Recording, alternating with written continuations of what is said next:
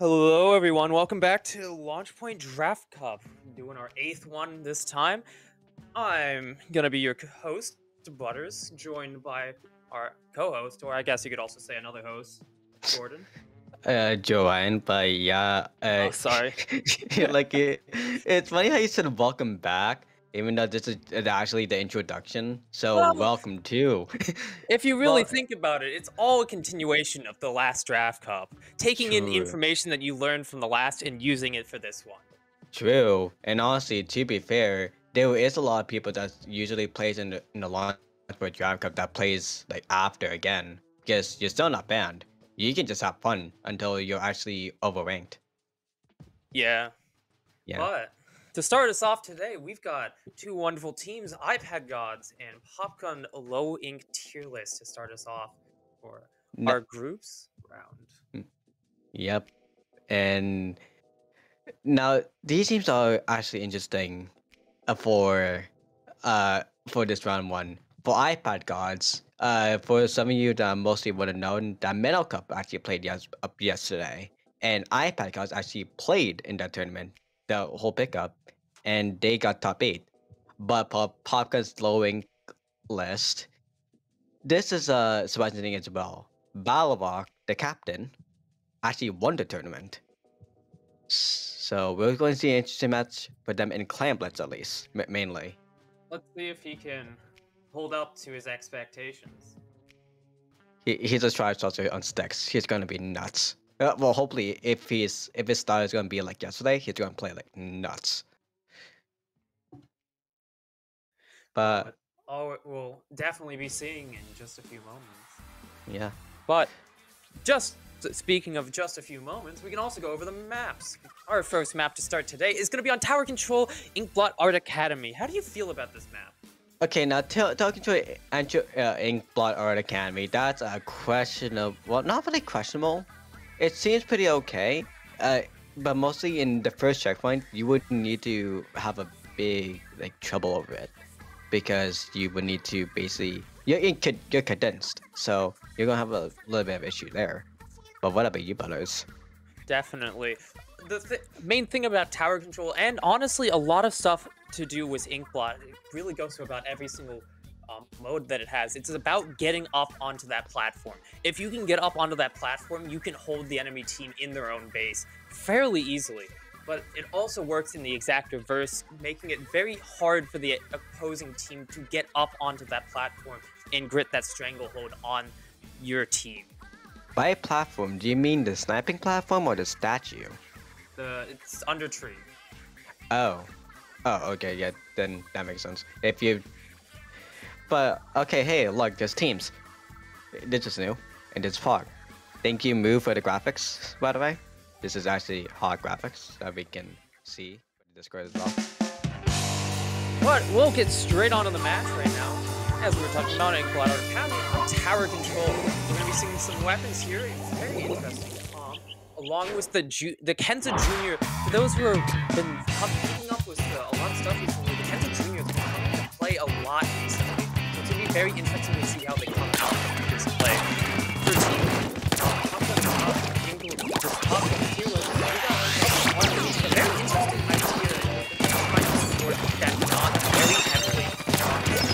Go down. They are really trying to take tower here. But he first off, from the Squiffer, and is going to be taking one person down with them, but unfortunately isn't going to be finding anyone else. It was a good trade off to the start, but mostly in, in the start game, it's just all basically on pain and control. But you see the Archer going down, but you see, see the K Junior and the Nice Scale actually still holding up, and actually, but you see the midi having Rain ready, they're having all these but wait, they can go for push, but they need to kill off one one armors or actually the dodge from like let them actually start pushing there. Start. The junior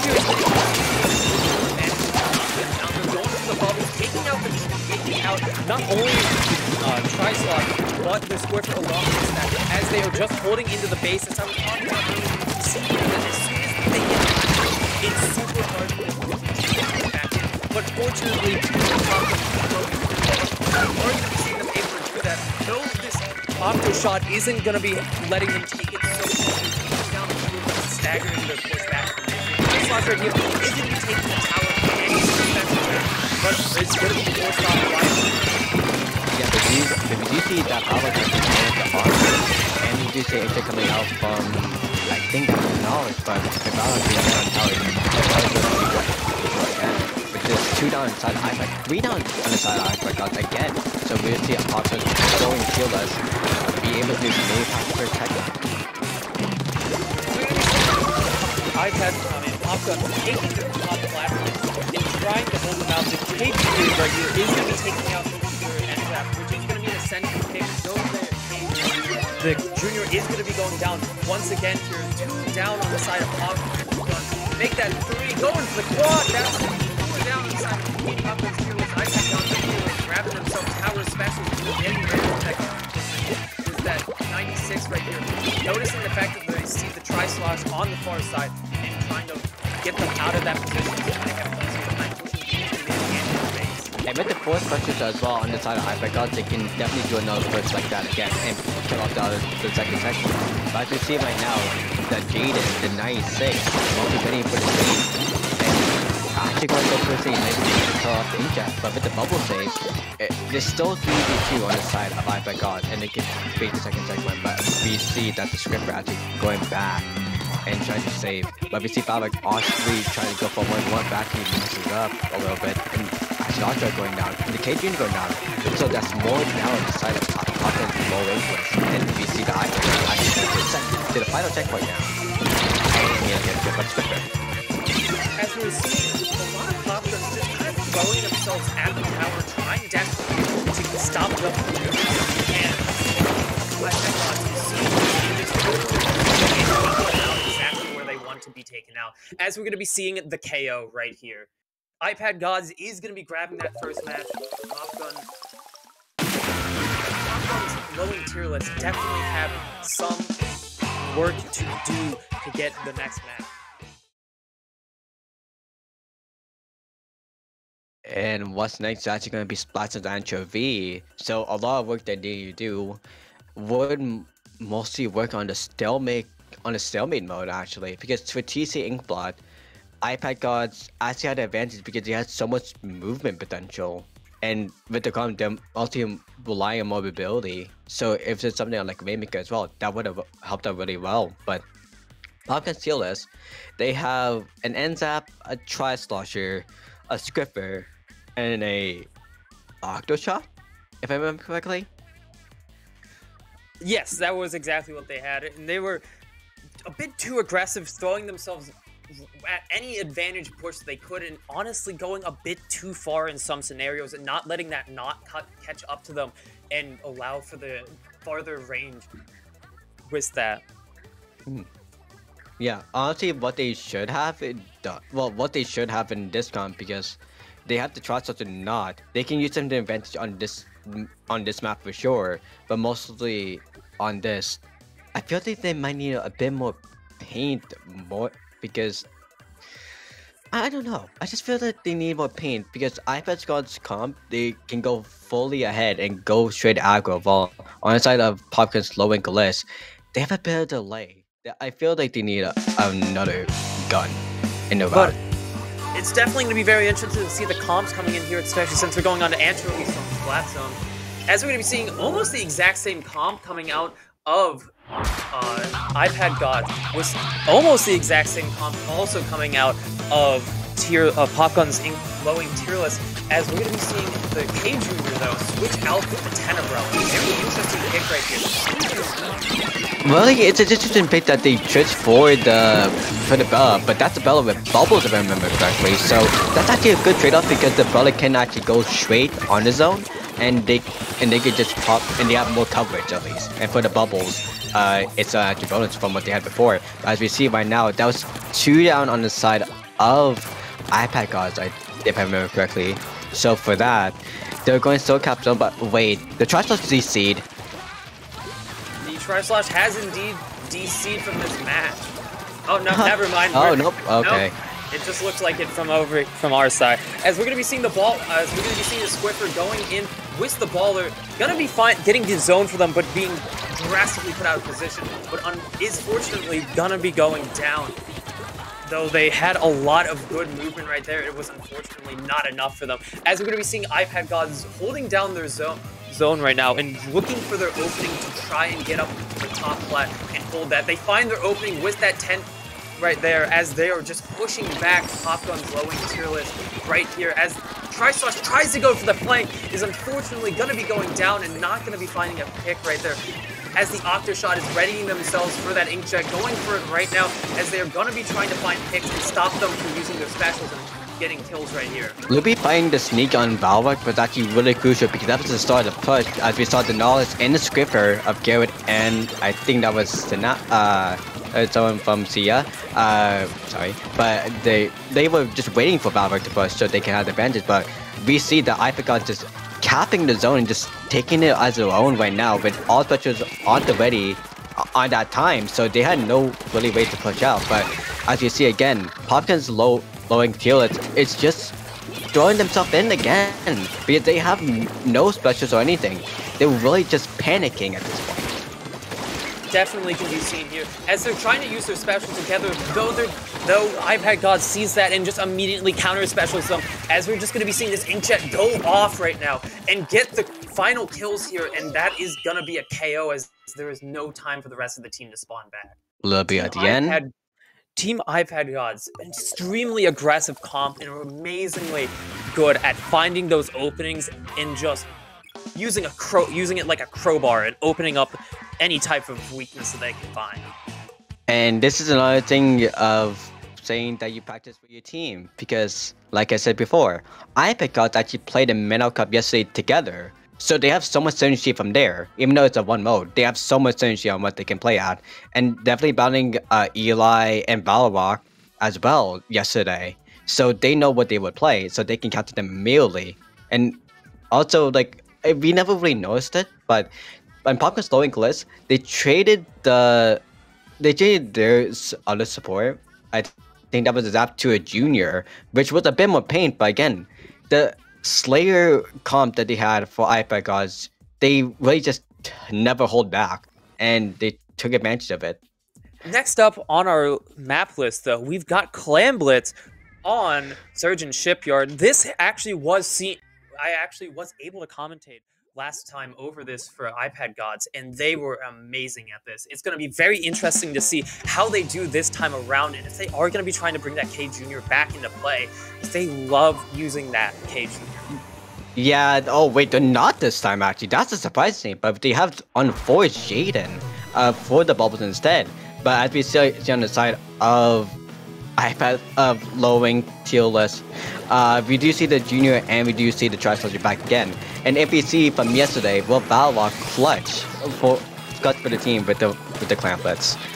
As we will be seeing team one go down on iPad God. This is going to be seen by Popguns and is trying using that to leverage their ability to go forward, taking out two people in the mid right now as they have total control over mid as Team iPad Gods is forced to be stuck in their base.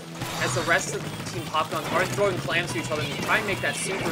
The Nautilus right here is trying to find themselves a pick, gonna get armor and an inkjet at the same time as they are gonna be trying to score here. They do get the clam in the basket as that time is taking away, finding another person, and that's gonna be a wipe on the side of iPad Gods as Team Popgun's low in tier list is getting themselves clams into that basket as that point total is just taking away.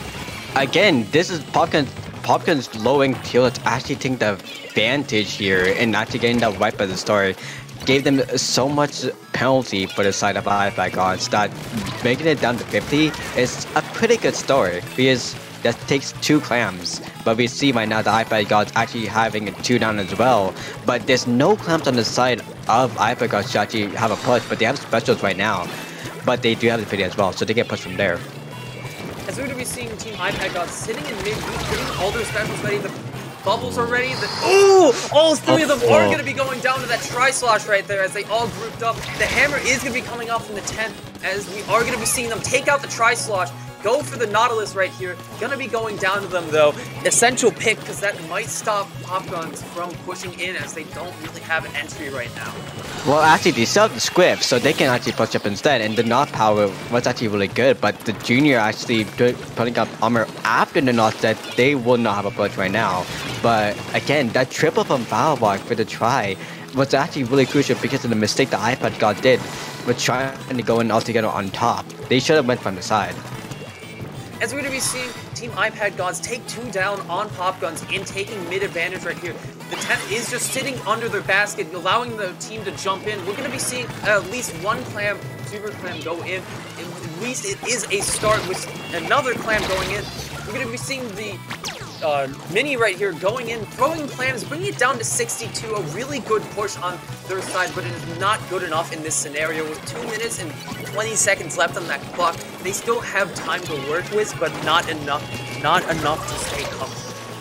Again, that was a good start, like you said, but it was mostly a panic play right there because we saw that everyone for the side of Ipex were just going in slowly and slowly because they didn't have anything set and they saw the three others alive. Mostly scared of not, I, I feel. But for right now, we see the Knot and the 10 battling each other. Whoever gets the win out of it, or I guess they're jumping out, they're trying to see who's going to get crucial mid control. This, this 10 here is doing exactly what they need to do and holding mid perfectly so that the rest of their team can push up. The Inkjet is going to be coming out here, finding that 10 kill right there, but is going to be going down and putting three down on pop guns as it's just the Swiffer left as the rest of Team iPad Gods is going in for that. Gonna be taking them out on the drop right here as they are have total control over mid and looking to push into that base with a minute and 20 seconds left on that clock. They do have the advantage. Try the Tri-Slosh finding the exact position that they should have been in. Again, unfortunately, unable to take out the Inkjet user as the rest of Team iPad Gods is looking to make a push, getting that clam in, bringing it down to 61 points as the rest of them are throwing clams, bringing it down to 52. All they need is one more clam in that basket and they have taken lead as they do take lead right here as the tent is just sitting in their base, pushing them further, bringing the points even further down. One minute left on that clock. Desperation time is now in for Popgun's lowing tier list. For the side of Ipex, making it down to 25 is actually a really good uh, chance for a minute, but again, for tier list, they have the mana advantage right now, and if they kill, uh, killing them kill for the Forge and the 10 again, but the Archer going down away, that's already Slayer down, they can have advantage to push in, but 30 seconds remaining, there's not seeming like there's any chance for tier list to actually win this, unless Ipex does another mistake like they did before, and group up all together so the try can actually get a triple or even to not get the triple right there. Ooh, it seems like the try slash has fallen into try time, which is where they go up to the exact same position every single time. And we're going to be seeing the team iPad God score right here with seven seconds left on that clock. Popgun's lowing tier list is in full desperation right now, trying their darndest to get anything going here with one person left on Team iPad Gods, just sitting in their base, not letting them go. The ball is going to be going down with that time ticking away. I don't even think they have enough time to score at this point. As it's just going to keep on going. Team uh, Pop Guns not even pushing in, and that's gonna be game. They were too late on the clock, and also five because they could have done a KO if really if the hammer player actually threw the hammer really quickly instead of waiting, they could just KO'd it right there. But even though the match seemed a bit, bit scrappy, GG's a lap lappy after getting an 18 kill streak, but low Valvok and I think that was Eli actually going up above 10 kills as well. Definitely. A Very interesting match. iPad Gods just never letting up on their aggression. And Popgun's lowing tier list just couldn't handle it. And they just fell apart. But this is why you this is why you call turning synergy right there, folks. Play via team before the draft cup. It will help you a lot. well, we'll be taking a small little break here as we're going to be waiting for the next match to be readied up. We'll catch you in a very brief bit.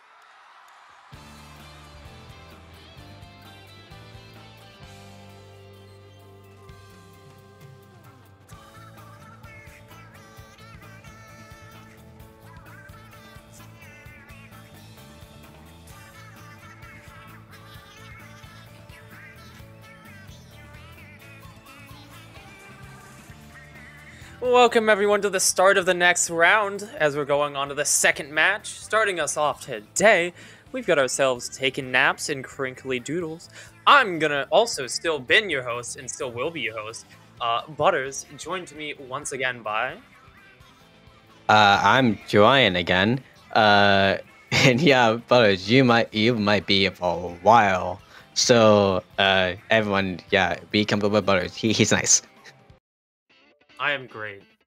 But yeah, so Now maybe we can switch off to the nice. But yeah, uh, we could maybe switch over to the teams and see who's going to be playing for this round two. But before we go on to the people, we've got ourselves our round two maps. Starting us off is going to be Rainmaker on Blackbelly Skate Park. A very interesting map.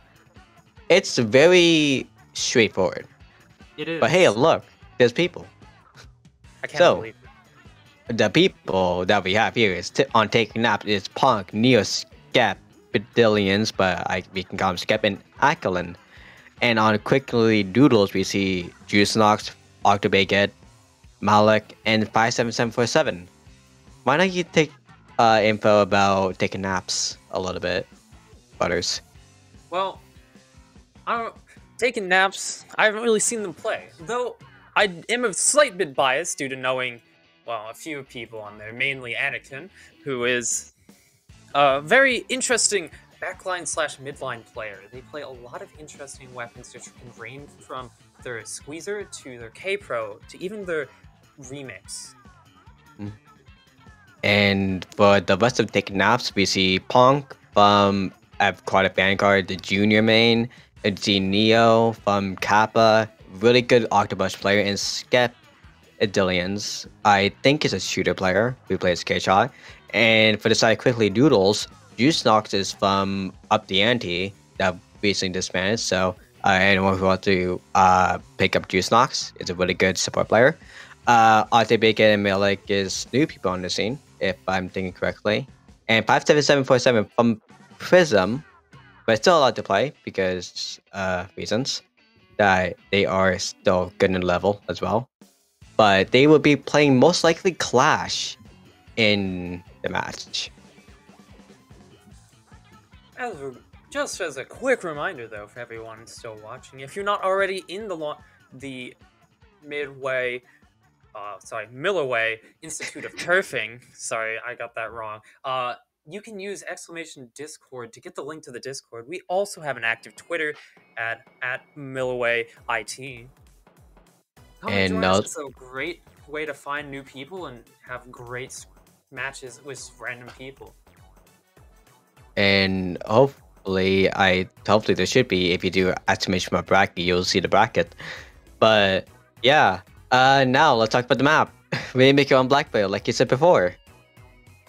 Going on to Rainmaker on Blackbelly, it's a very interesting map with three main ways of pushing in. You got the you've got your well, you got your half pipe, which is also known as the terrible way to push by most people in the community.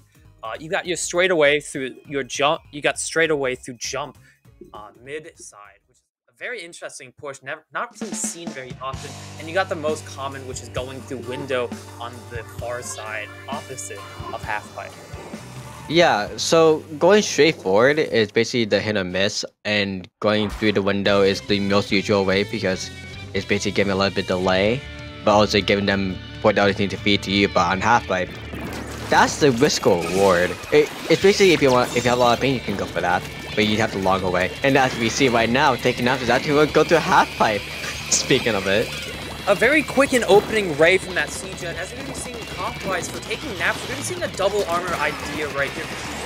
For Crinkly Doodles, we're going to be seeing a very heavy paint based around getting that siege in position and getting the raise off as soon as they can. Crinkly Doodles is going to be going three down right now, is taking naps, is taking that Rainmaker through half pipe, and looking to get even more further in and taking push. The 52 go down and Crinkly Doodles. Ray is going to be coming out. The oh, Taking Naps Rainmaker is going to be slightly missing that launch uh, the side right there as the K Pro, as the C Jet's to be out of position, taken out by that K Pro, who is holding their position very perfectly right here, trying to be to be contested by that Tri Slosh and is to be jumping out right now. The K-Shot right here is to be missiling as they are to be trying to push up with those missiles and get that Rainmaker into a better position than it currently is. And also remember to, for everyone, Rainmaker is not based on the actual position of the Rainmaker, is based on distance. So what Neo did was actually wide the wide the barrier to make it all the way closer to the Rainmaker barrier, to the pedestal, to make it to 20. So that was a good play that Neo did. So the quickling duels will need to take a lot of time to go through the middle. But as we see right now, they have a three down advantage, so they can just move really through the window and get the Zing ready so they can push forward. But it looks like the it looks like the jam might be overextended right now.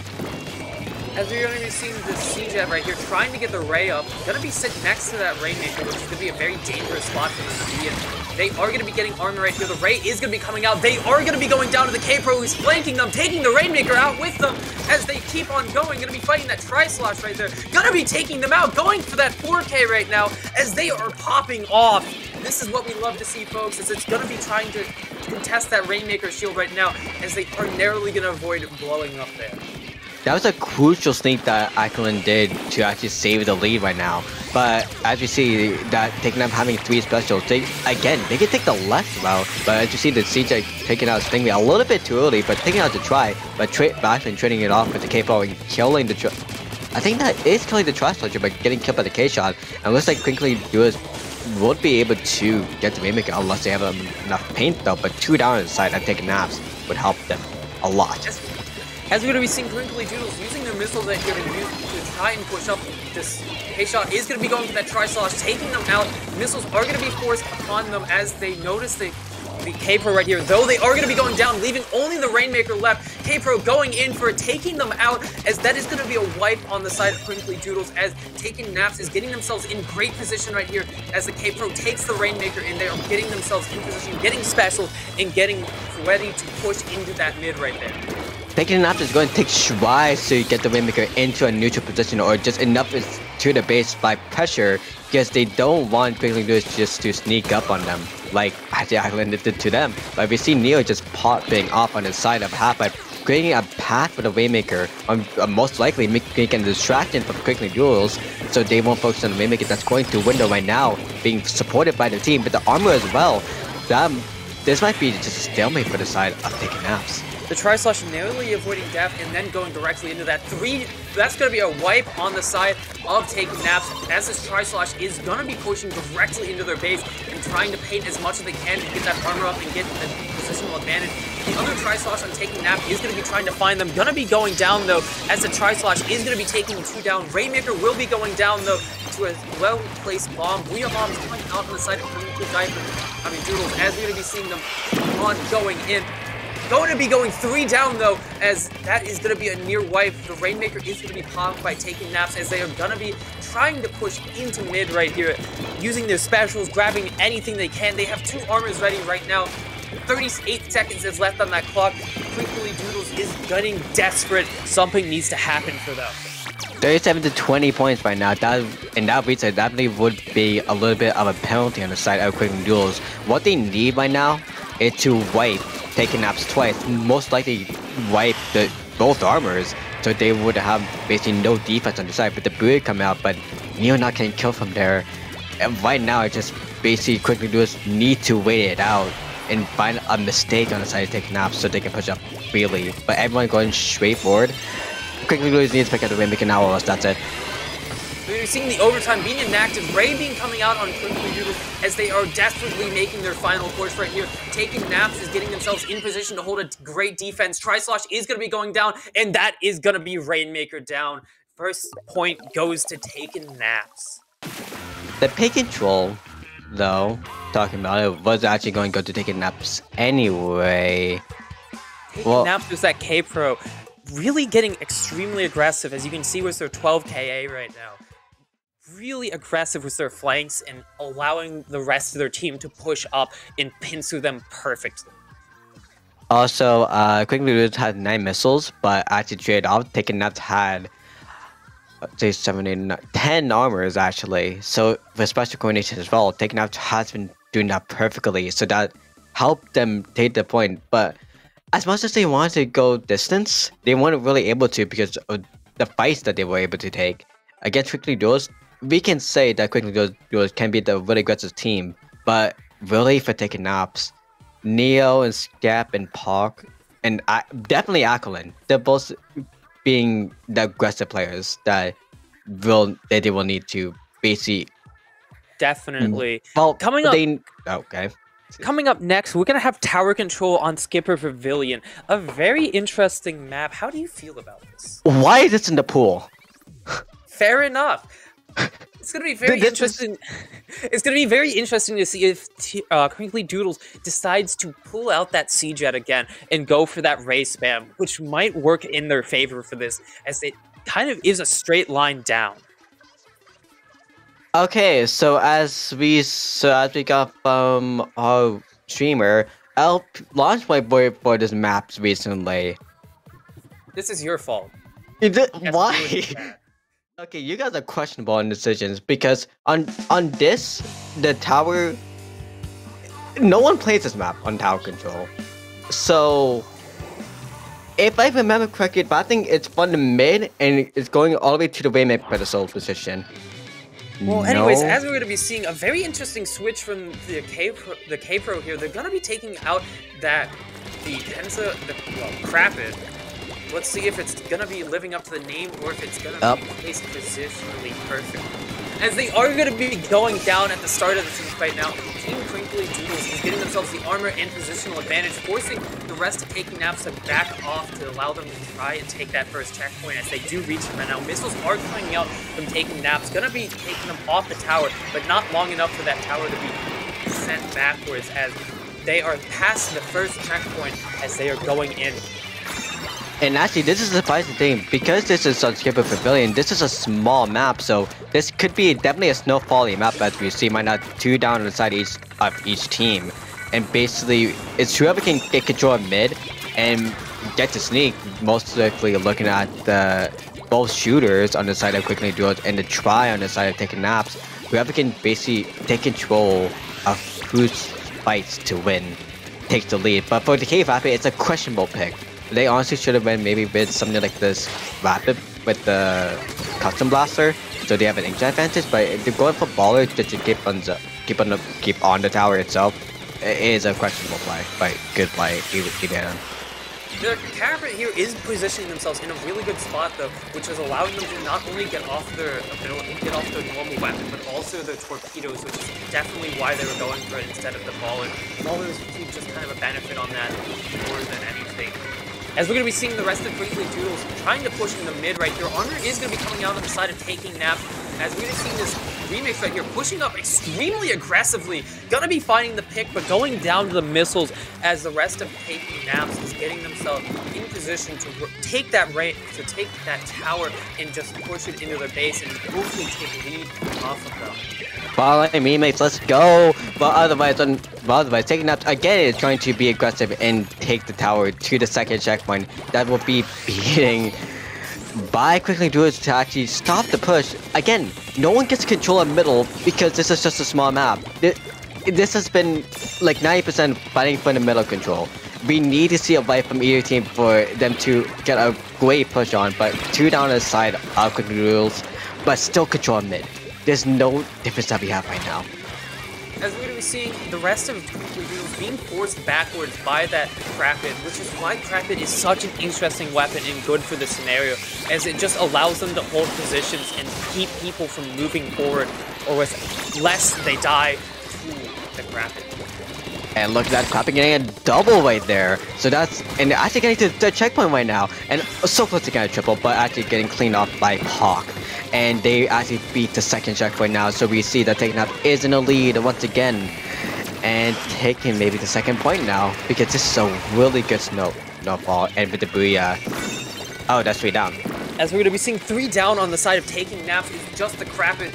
If anyone's to remain, honestly, the Crapid is the best for holding back the rest of the team. Crapid is going to be hopping the mid right now. And It is going to be forced a bit back back to their base as the rest of the team, Crinkly Doodles, are getting themselves in position to try and push under into their base.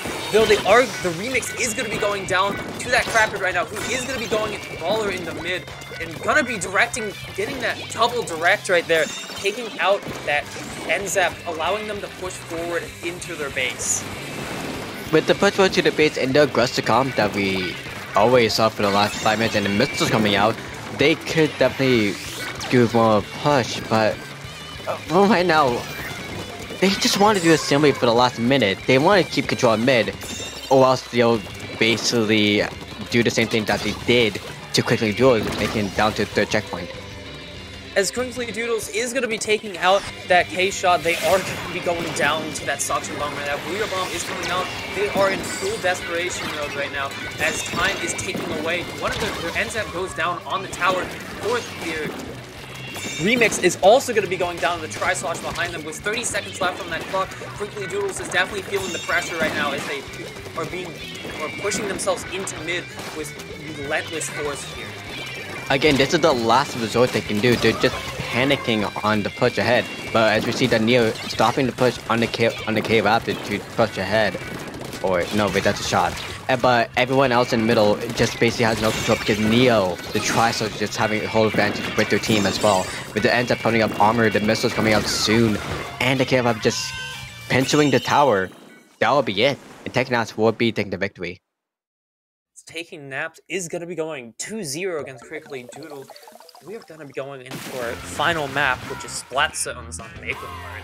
Going to be very interesting to see the comp pool out here, as a lot of Uh, taking naps doesn't really need to change, as they already have immensely good painting power and ability to stop them from taking uh, stop Crinkly Doodles from taking flanks and taking flanks himself. And it's going to be very interesting to see if Crinkly Doodle switches up their comp at all to to sit suit the map. 577, we need to see a Clash Blaster now. This is where it shines. And Nox, we might need to see you go back on Tri-Slosher to maybe counter off a Neo. But mostly we might need a lot of bombs on the side of Flixley Duos just to cap zone. But for taking naps, like you said, they do have fine pain power. And again, the Slayers on the side of taking naps just doing the job perfectly to push out quickly duels and capitalizing them in the base. But again, tower control on Skipper Pavilion is basically a battle in mid. So basically in that, going to the aspect of Splat Zones, which is a stalemate mode, this might be pushing over two taking naps, unless we do see the comp change. Definitely. Speak. As it's it's going to be very interesting to see how they play around the flanks and the usage of the top of the perches on the left and right on both sides to be extremely aggressive or take advantage of not allowing them to push into bases. Hold up, that that's a bamboo on the side. We're gonna be seeing oh a oh bamboo coming out on the side of Crinkly Doodles was a very interesting comp, pulling out the Tri Nouveau, going with the bomb strategy along with the rain, and we're gonna be seeing the rest, the taking nap, themselves using the K Rapid again, along with a. Very interesting pick on this map. Again, taking naps has a lot of pain that Quickly Duels won't be able to fight against. But on the side of Quickly Duels, they do have a missile spam potential, but going with a Zap instead of a... Uh, going with a Zap instead of, of Junior on this, they won't have enough pain either. They just have a lot of manpower to fight against on the zone. But we see right now that Takenaps have full control of the zone, even though Quickly Duels did do a little bit of capping, with a little bit of penalty inside Takenaps. The the N-ZAP definitely subscribes to the philosophy that they can't paint if they're dead, which is definitely what they're trying to do right here. The armor is going to be coming out on the side of Doodles, and that is going to be trying to that bridge zone, which they are, as the penalty is going to be taken away. They are going to be switching the zone almost as soon as the penalty is gone. Not allowing Team Crinkly Doodles to take any points off of this. The K-Rapid is gonna be forced into a close quarters combat right here. He's Gonna be losing that fight as we're gonna be seeing the rest of Crinkly Doodles trying to take zone, though as the rest of team taking naps is gonna be stopping them very heavily. Gonna be taking out that taking out their backline as they are gonna be trying to push in even further and harder as the K-Rapid is gonna be taking out their Tri-Slot. But the but Jude's on the Tri-Slosher Nouveau actually trading up both sloshers on the side of Take Naps, which actually take the advantage for Quick Duels to take his own once again because of the delay of the paint by both slashers to capture zone so easily. But the K-Raptor going down again, turning off with the K-Shot, so they won't have enough aggressive power. But we see that 577 Kelly with the bamboo and single tapping, but the zone cap will be going up to taking naps, all because of the time delay, and also because of the rain as well. As we will be seeing the bamboo going for the missiles right here, gonna be using that to hopefully force up into the, the zone, gonna be capping it with that as we're gonna be seeing the penalty on them taking away as they are done as Twinkly Doodles is done with playing their passive comp and just going full in, full force. They definitely subscribe to the ideology that they can't paint if they are dead. And but they are doing this to a T as they are switching the zone to the lead back on over to themselves as Taken Naps is trying to take zone right here.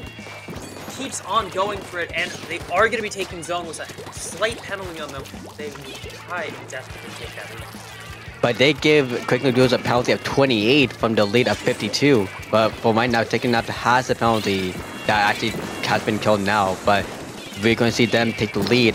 And because the missile spam on the side of Quickly Duels, they might be able to recap the zone, but it's going forward. But the was that the Bamba going down to the to the blob? And actually, the K-Shot killing two more with the missiles that they had, and that will give Quickly Duels the way of the zone, and he turned off the penalty for sure.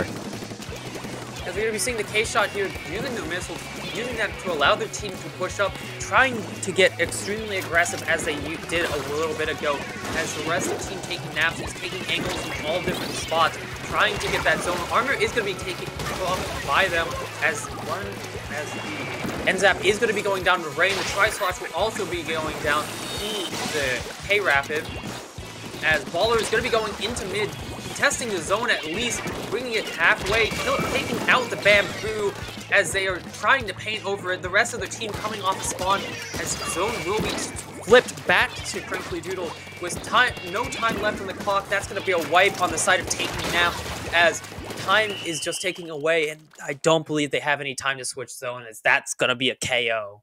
Picking du- Duels moving to the zone and actually winning the first point, but it doesn't really matter. It's playoff three, so this was only meant for tiebreakers. But taking out taking a set, but to quickly do getting a point off is still just easy to them. They they got point off with a bamboo, and the missile spam they got was 14. Oh my gosh, the missile in this this meta is so crucial.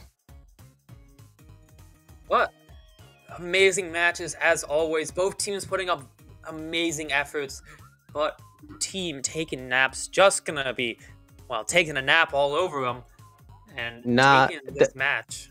They've been taking strides. They're not taking naps. They're giving. They're making taking. No, they they made Duels go to sleep, winning the set. That's what you mean. As we'll be back very shortly for our next match. Stay tuned. Don't forget that we will still be here. We're not leaving you.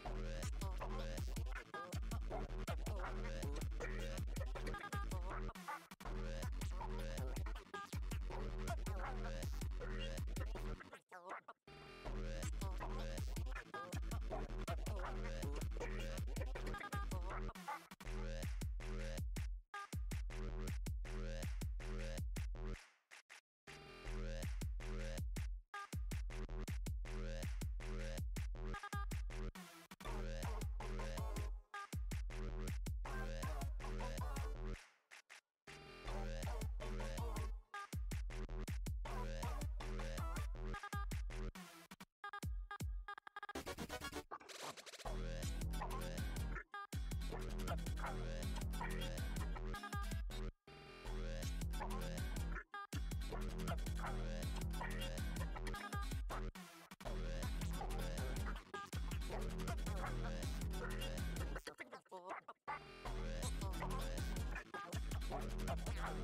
right.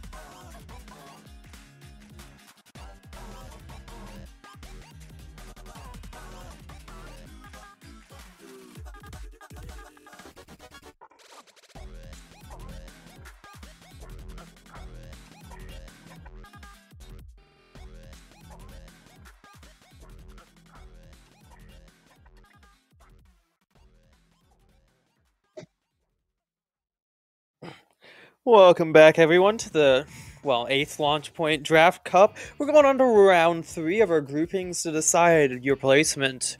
The judgment day has come. So, yeah. Oh. Uh, the team names are actually priority subs, which is going to be taking a, a Beast, Tracy, Jazzicorn, Orion, which is the queen name on that team, and Sprout. On the side of 5 on right, we're going to have Spot Squid, Elite Rumi, Illusion, and Raz 707. To say the least, if I don't see people on the right, I'm gonna be a I'm gonna be a bit upset for Team Five on the right. But Eh. that's neither here or there. It just might be a, a bit of a, a talking point. And also for the weapons itself, most likely from Jazzicorn, we're going to see all juniors descend, and from Spot Squids, if it's who I'm thinking of, we're going to see an all blob on the set as well. It's gonna be very interesting to see how these guys match up, especially since we're gonna be going into the Clam Blitz on Piranha Pit. A very interesting map with it straight away and the conveyors allowing you to take very interesting and higher up positions to maybe try and get a few cheeky picks off with uh, medium range to long range weapon. But like I said about the blob, it's going to have a vein here going from the conveyors because the height advantage that you can get from just throwing the bubbles, you will have a lot of pain going straight to the basket. But with the junior doing the double bomb tactic, we'll have a lot of turf either way. But it's mostly going to be based off the slayers and see how they handle against each other. Because we're mostly going to see that if they can't handle one another, everything will just be in in the middle. But this is a Clam Blitz. Slayer kills does matter, but putting the clam in the basket matters even more. Remember that. Well, as we get ourselves on to the match, we'll be Seeing cool See. one screen. see a cool loading screen. It's going to be seeing very interesting overview of the map as we're going to be seeing our weapons here. Very interesting pick on the Squeezer as we're going to be seeing a Bamboo Squeezer, Bloblobber, and N-ZAP on the side of 5 on the right. And we're going to be seeing the Foil Flingza, the Sea Jet, the and the Splattershot Junior on the side of priority subs. The foil Flingza is going to be going down on the side of priority subs, along with the Splash-O-Matic. The army is going to be coming out on 5 on right as they're pushing into their base getting that C-Jet out of position right here. Missiles are going to be coming out just even further, backing up that Junior. Going to be taken out by that N-ZAP as they are being forced to jump out right here. The Zap actually came in and like super quick, trying to kill off the junior first because she was trying to, uh, she was trying to get quick armor. But I see right now that five on my is getting priority access of middle, and also uh, that's not a C jet, that's a V jet, so they're going for double missile spam. The flames are doing the missiles first. And actually, the missiles on side priority subs actually getting kill, which would give them advantage to push in if they only have a clam. We're seeing the bubbles coming out from that or the uh, squeezer. We're gonna be seeing them not being able to take much advantage of that. We will see the basket being popped by five on right as we see them just scrambling to get themselves clams. Missiles is gonna be coming out against priority subs. The Flingza is taking out that Bloblobber and doing an amazing job holding down this courtyard right here as they are going for that kill right there as they are trying to take up the other team's conveyor so that they can't hop down on from the left side. And on the side of Five and Bastion had, did have an extra clam, so they could have gave up more time because one of the other team had a nine clams ready, but since he was focusing on the kill, mostly the clam push ended. But as you see right now, two is down on the side of priority subs again. And they do have another clam blade, so they're just waiting on the special coordination of the army that comes out immediately right now in the bubble push right now as well. They should be able to go for another push. Just seeing the bubble right here being used as a shield, though unfortunately a bomb is going to be, a well-placed bomb is going to be just taking them out of that. That's going to be a full wipe on the five of five on right as priority subs is getting themselves specials up and taking, well, priority over their entirety of mid and almost the under basket on five on right. We're going to be seeing the bomb rush coming out here from that Splash-O-Matic, allowing them to get into better positions right here and try and get under their basket as they're taking the railing right here. Gonna be noticed by that bamboo right here as they are gonna be pushing up, gonna be contested a slight bit and will go down to the bamboo as the rest of the team is forced to back up. Five White is mostly just playing the aggression side here, while Poirier is just playing the waiting and patience side of the game because we saw both in this whole game that Five and White has done two puts so far, and for Fire Reset, they really had no puts at all, but they had so much pain. They were just trying to battle out the N-ZAP and battling out the squeezer. They have plenty more patches on there, with the squeezer actually having the bubbles ready and going for another another pop right there again. But after getting killed, or no, they don't put it in. As we're going to be seeing Team Fire on the right popping that basket, keeping the aggression up, taking advantage of the mishaps of priority sub. The Flingza Roller is going to be taking that trade with that Bamboo as the rest of five on the right is getting themselves ready for another push. That basket just now closed. The penalty of 25, very few points remaining on their side. The game is anyone's right now, but mostly goes towards five on right. Priority South right now is so backed up in the in their base. They have a plan ready, for but they're getting a kill on the block, which is going give them some pain advantage right now. And now we see that priority that's getting the advantage and going in for a push. But again, the blobs coming in return, and the squeezer and the zap actually playing so much better, and the bamboo putting up another missile, going big a little bit better push and a trade from the Flingza, and a kill on Junior. They'll have no armor and another missile down. So once again, 5 on having the priority of the mid and be able to put another push with the clam in hand as we're going to be seeing Team Priority subs trying to find any amount of footing to get well, mid and even under the basket. With 30 seconds left on the clock, you can see the desperation going as we're just going to see five on right right here holding positions and just sitting back and letting the rest of their team do their less, well, letting priority subs push into them because they know for a fact they don't have to push at all as 12 seconds is left on that clock. They're just trying to go in and maybe even score that super right there. One of them is going down, make that two, as we will be seeing a super plan being made on priority sub side. Baller will be going out. Unfortunately, not going to be finding anyone as overtime has now been enacted. Ball is on the conveyor belt. The flames roller is going to be going down. The solution is going to be going down. It's oh, as ball will be going in. The junior will be going down, and that's going to be a wipe on the side of priority subs. The game is over. Point goes to five on right. Played an amazing game right there. Priority subs, they didn't really have any chance to move. They're playing so defensive that literally they let 5 on white go to the base and let them have so many points. Priority subs just beating to them and panic all because they didn't really have enough range. They were waiting for them to come come to 5 on white. They were really playing too much defensive.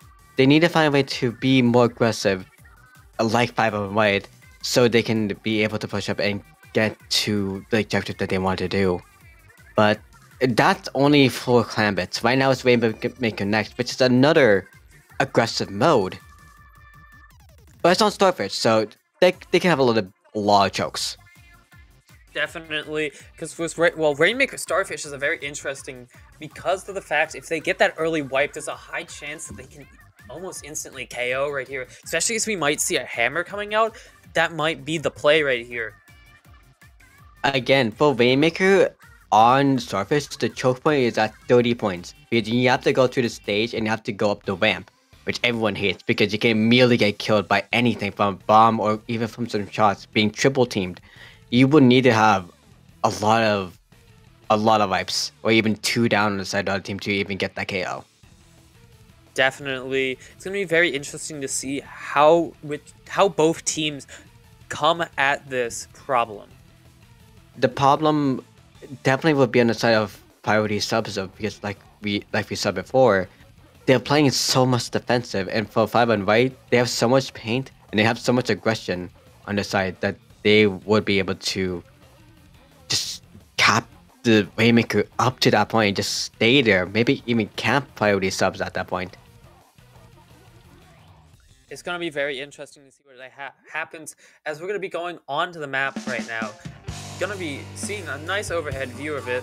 Not Many people have seen this before, as we're gonna be seeing weapons coming out right now. Very interesting pick on the Dynamo and the Brush. K-Pro is coming out, as we will be seeing the Bloblobber stay along with the Bamboo switching to a Squiffer.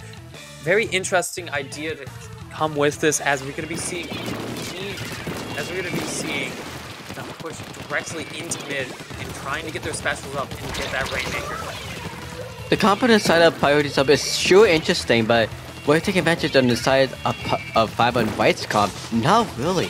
It, the competent side of priority subs will have them a little bit of delay because of the Dynamo doing the Booyah spam. And honestly, they should have went for a cape on there, but the Brush taking death, and same with the Junior taking that, so no armor, and no sneaks on side of the Brush as well. But as we see on 5 White, just taking it down to 40, 30 now, they would be able to go on to 20 sneaking past that brush right there, very fortunate for them and very unfortunate for Priority Subs as it's already a 19 push, which is a hard take back to do as we're going to be seeing the brush here trying to find that pick on that Bloblobber right there. Gonna be finding it. The Squiffer is gonna be trying to take them out right here as we're gonna be seeing the Inkjet coming out. Squiffer hitting an amazing shot right there, taking out the Inkjet and forcing the rest of Priority Subs to get their specials ready to make that for us. The blob and the the blob and the bush training each other because it was crucial because the because the bush was being the slayer and the blob is being the paint method for the side of 5 on white. But as we see right now, again, the stamina in the middle, but we do see 5 on white having 3 specials on the rise, and the diamond going down on the sides of priority south. We get them another chance to push, but again, Beam is left, who would be the one push? Most likely the Zap, but the Zap is dead, so most likely it's going to be a stalemate once again as we're seeing the armor and the inkjet coming out there. Not going to be fighting anyone, putting immense amount of pressure and forcing the other team into using their armor.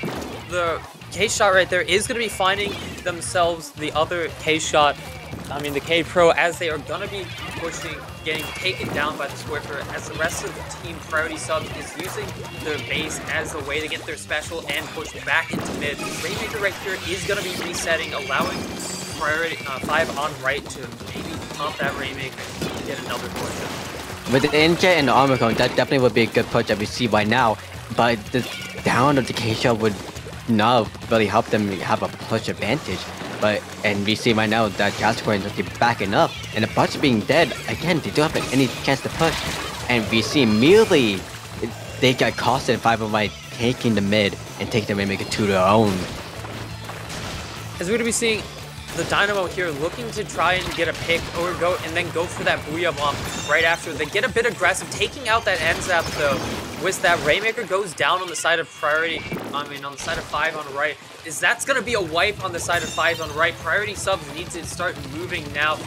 Dynamo is going to be picking up that Rainmaker as the rest of 5 on right is going to be coming off a spawn right now as they're to be trying to set up to get that positional advantage and get specials ready and take that Rainmaker out.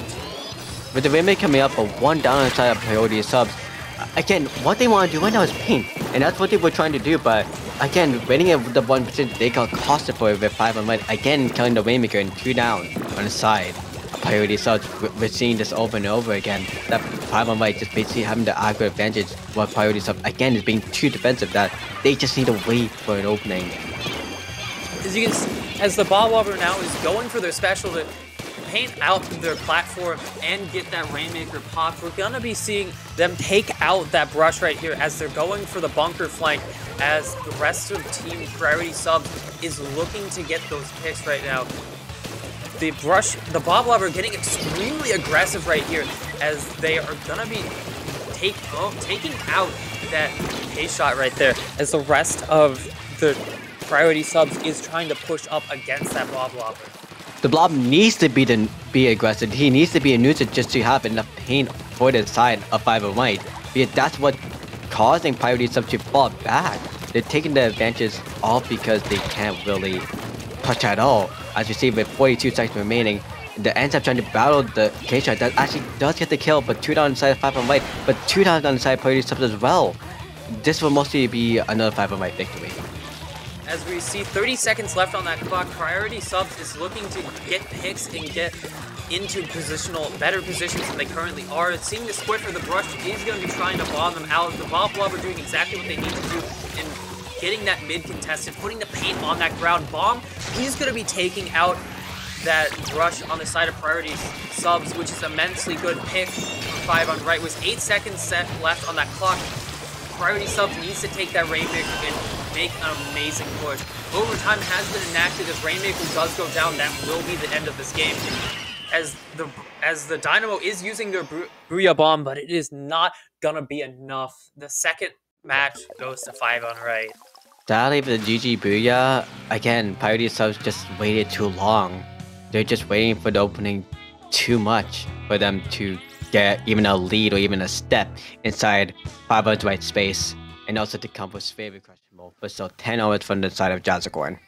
That's good for them. But for 5 and White, again, they have this more aggressive composition that you can't even fight priorities. They can't really fight it when your priority subs. Doing these awkward comps, really. And being the defensive team. So they need to be, again, they need to be a lot more aggressive or change their weapons to be a lot more aggressive in the mode. Definitely as we're going to be going on to our final map of to map of our group section, we're going to be going on to Tower Control Humpback Pump Track, a very interesting map, and honestly, a very interesting mode on this map too. Again, why is this in pool? It's questionable. The tower is too tall, which is super weird, and it goes over the hill. If you are a slot player, you will have a joyride here definitely would see a slot machine. That that would be pretty cool. But we're definitely going to see Splasias have a wide on here, having so much leverage to paint the whole map. But on the side of but the rest of the team, they're fine. They they have a they have support of the paint, so they can just roam free. While outside of Peyote subs, I feel that they might switch they might actually need to switch to a slosher, maybe go for a double armor comp, like going with Jessica is, is Junior to counter five on white. Definitely. It's going to be very interesting to see if priority subs decide to keep with that Dynamo or if they switch off of it. Dynamo is a very interesting weapon, especially on this map with Rainmaker. I mean, on tower control. Thinking ahead. Yeah, Rainmaker is the usual one on this map. That, that's the reason why you say it. But that's fine. But Uh, Humpback is a question mark map anyways. As both teams are very have very good kits dedicated to this. We're gonna be seeing if they decide to use them. Going on, we're gonna be seeing the Dynamo, two Dynamos coming out. Very interesting idea, along with the K Junior. It seems that priority subs have gone full all out for heavy weapons right now. So using, trying to use all of their advantage to try and get insta pop on every single weapon right here, as they are going to be getting that armor and pushing into mid. I'm not really gonna say it, but the double dynamo is a questionable comp, but the double armor is actually what they might want to needed uh, to take a leap. Again, uh, we see at the sort of 5 on Wade is taking the aggressive side, and actually Blackbeard is not doing a block, but doing all the time to be more upfront rather than do paint. And we do see the K and the CJ coming out from the side of 5 on White, so they are doing double armor comp. As we see right now, they beat the first checkpoint, they're going to the second checkpoint now. The Dynamo's going down, and the Junior going down again. Well, it's a K Junior. As we're going to be seeing the Tower Rider going down to the bomb as most of prior or uh, five on right are down as priority subs is getting themselves into good positions in mid with very with two minutes I mean three minutes left on that clock. Seeing them trying to push in right here. Yes. N-ZAP's gonna be finding that very crucial pick right there, allowing them to go in with an armor at the ready. They are gonna be using it as soon as this or as soon as the Dynamo drops from their Booyah. The armor does come out right now as they are pushing second checkpoint. Bubbles do come out from that junior. Gonna be distracting most of the five on right from being able to push and allowing them to take the first checkpoint. It's really good that the that the Zap engine was going on and off the tower just to kill the checkpoint. That's a really good move that they did right there. And the Booyah coming out from the K-Pro, it just giving them for mid and the push control on the side of 5 on white. It's actually being diminished on the side of priority subs. Doing a double diamond comp actually might work out to their favor right now because they have so much pain on the hill.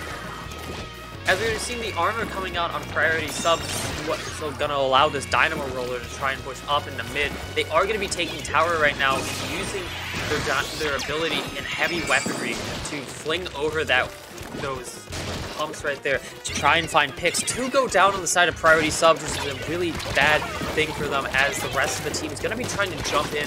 The, the gold dynamo is going to be going down. The K Junior is going to be trying to fight that tri-slosh and is going to be successful in that as they're getting themselves ready to get another bubbles off onto mid. Again, two rounds on the side of priority sub just now, and everyone has gotten five on white.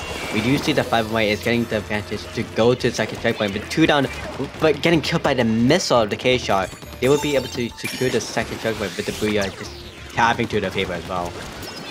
As we're going to be seeing the armor coming out on 5 on right, they're just pushing past the second checkpoint right now. Dynamo, the gold dynamo is going to be going down as the N-ZAP is fighting the K-Shot right now along with the Tri-Slosh being there, gonna be going, Tri-Slosh is gonna be going down to that Dynamo right there, as the missiles are gonna be coming out that, from that K-Shot. They're getting on tower, pushing it all the way to 7, as Booyah Bomb took them out with a minute and 59 seconds left on that clock. Priority subs is definitely in a good position to make a push, but that push needs to be amazing.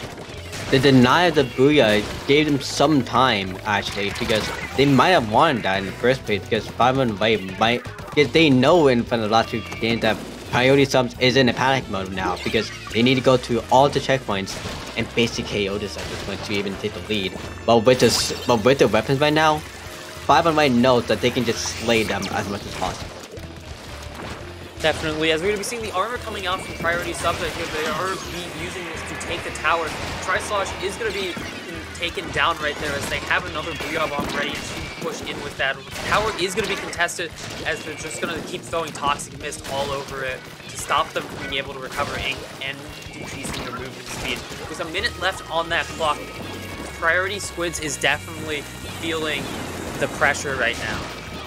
Nice job in saying priorities, Chris, but also as well, reduce. uh, But basically, uh, as you're seeing right now, with the toxic miss, that's so crucial in this mode and on this map as well. That's what's stopping priority sub to pass even that third, third check might be they're immediately going to get double team. But with the double timer coming out, with the armor coming out already, the Booyah coming out now, they yes, priority subs need to do a push, but they need to get a kill to even go ahead. As you're seeing priority subs taking the tower right now, you're gonna be seeing the Dynamos trying to shoot into the mid. Bob, the junior, is gonna be taking out that Tri Slosh, which is gonna be allowing them to push into the mid. The Booyah Bomb is gonna be coming out. It's gonna be held there, taking out the, the K shot on the side. As we're gonna be seeing both Dynamos gonna be going down to that suction bomb, as that's gonna be one left on the side of priority subs and five on the right is gonna sweep the match. The nail in the coffin, basically.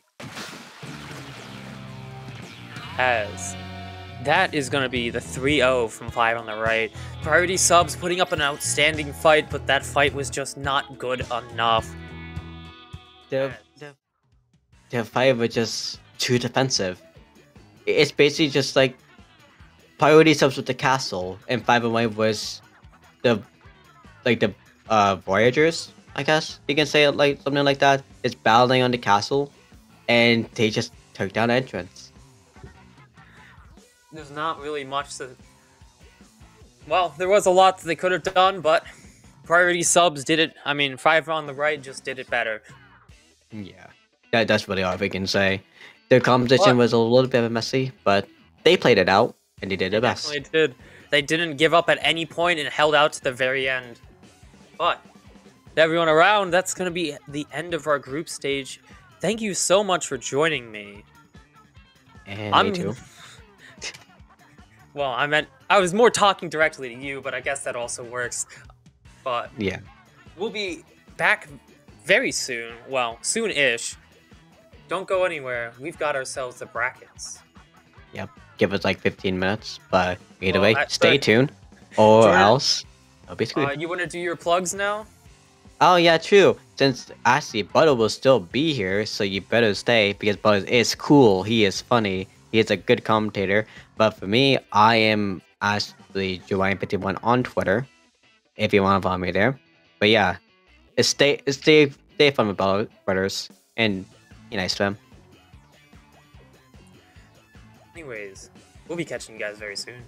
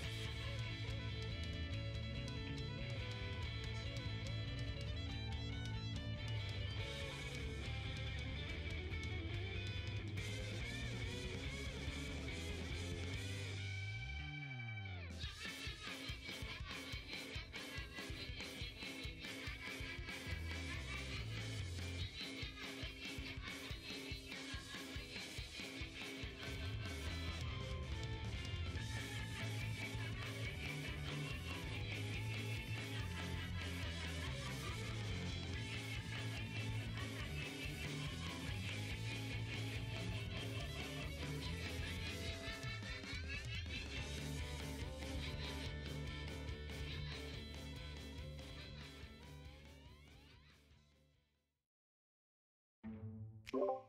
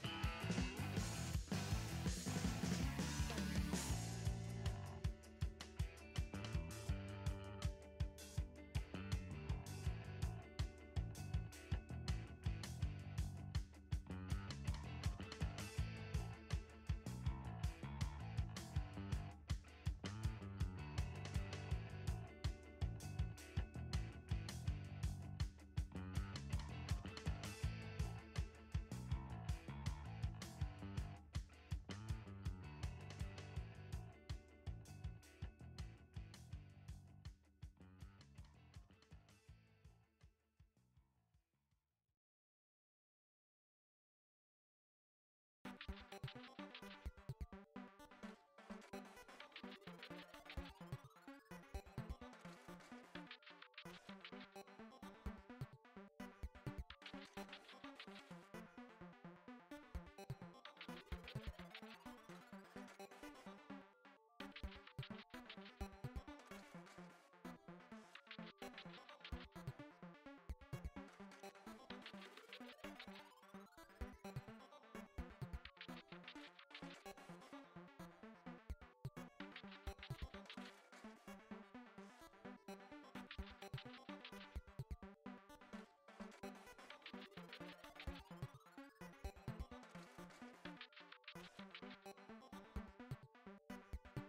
you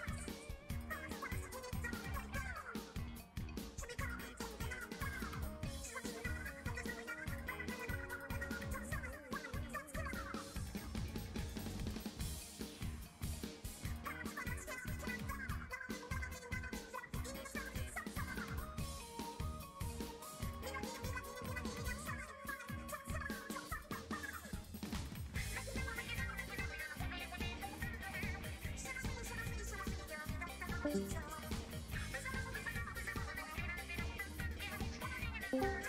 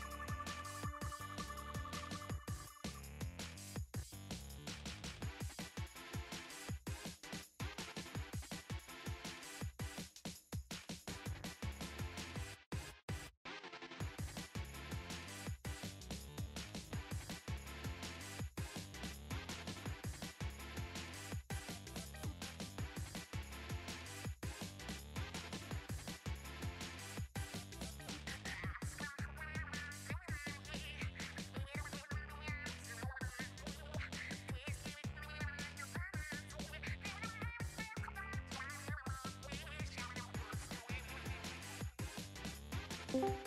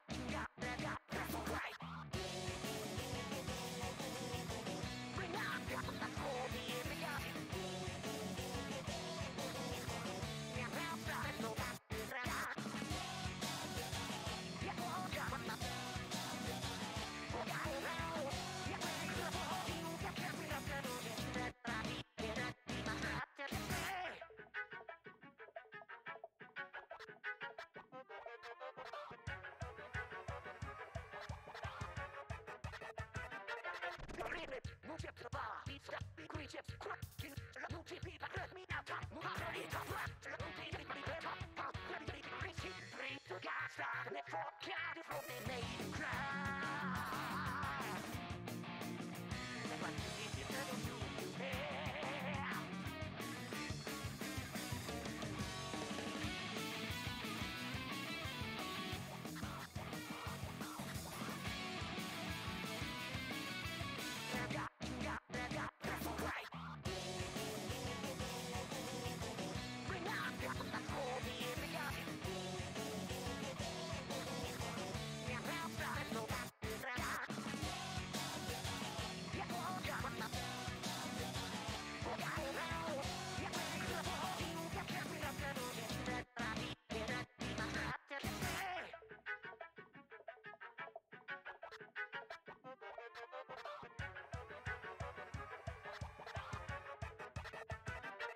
Move your bar, chips, me move,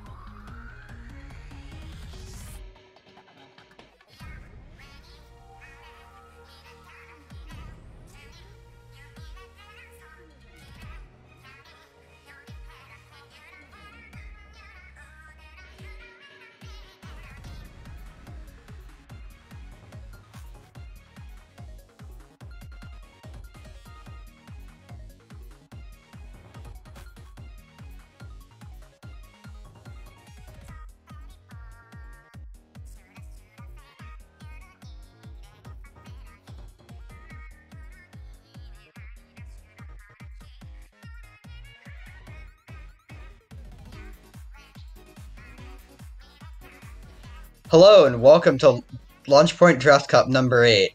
I'm Cork and I'm joined here by Butters. Well, I'm I'm back again. How's everyone doing? The grind never stops. Neither does commentate.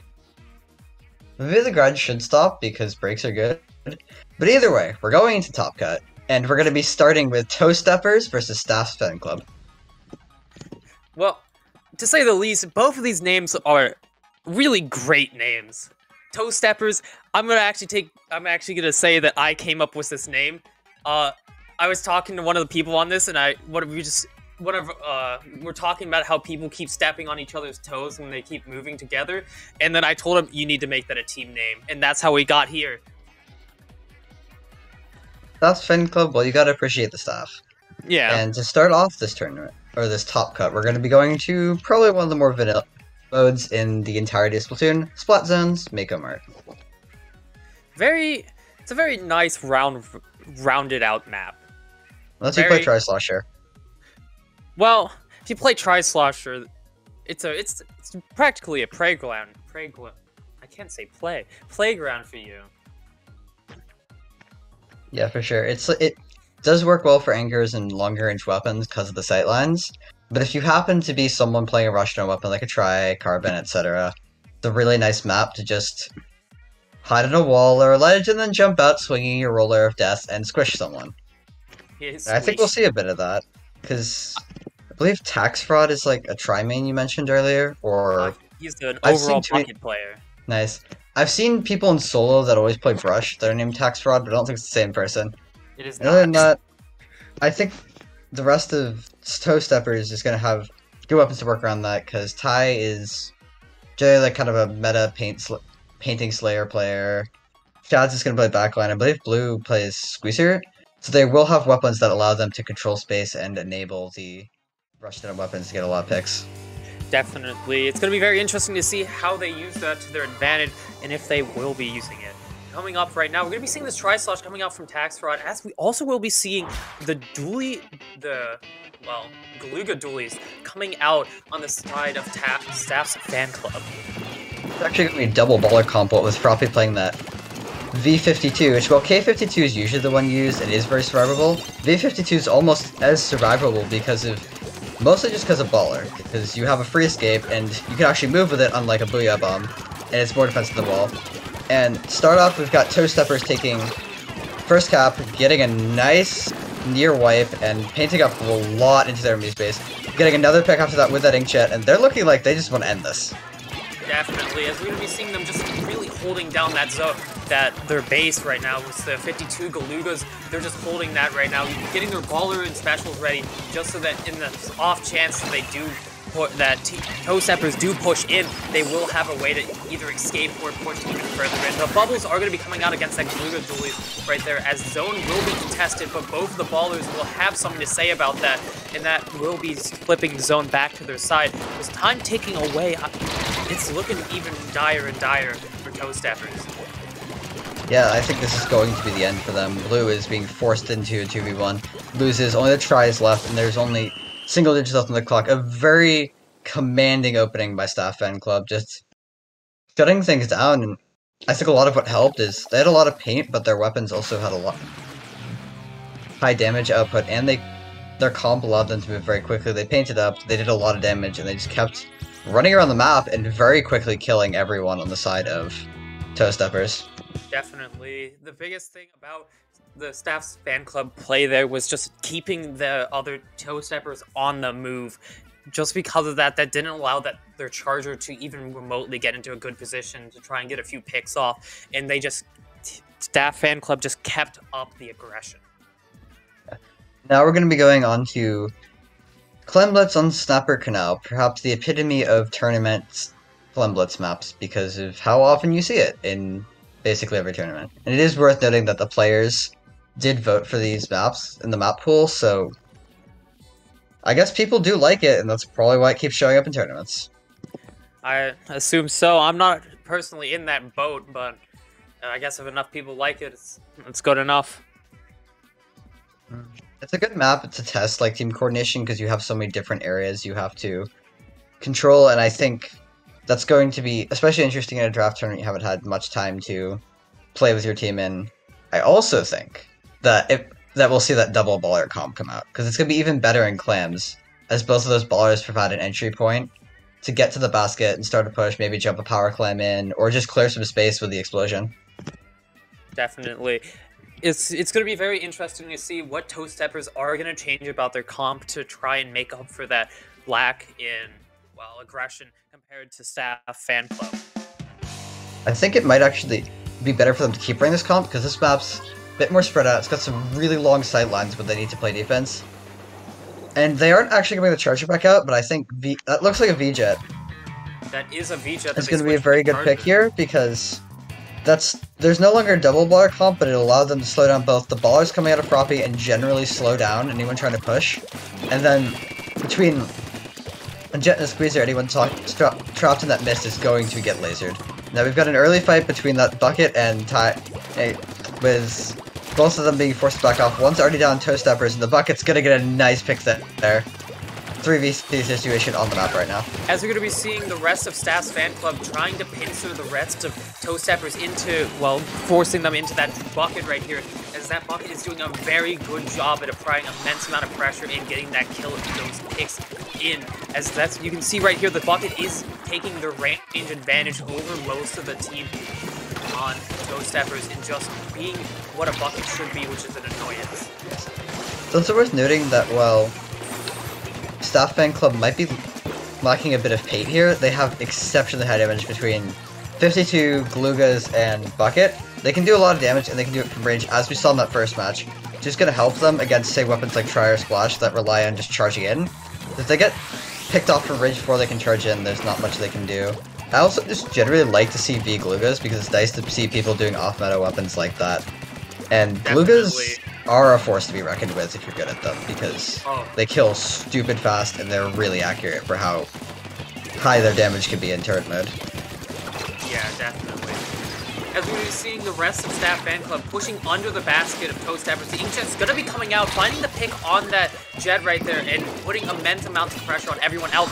Though they are gonna be picked off by the Neo Splash, putting the Team Staff Fan Club down three players as they're the last remaining bucket is forced to back off from their base and play defensively as waiting for the rest of the team to come back. They now have the bomb rush is coming out from the Squishomatic here as they are going to be using that to get more clams, make that super, and look for that opening.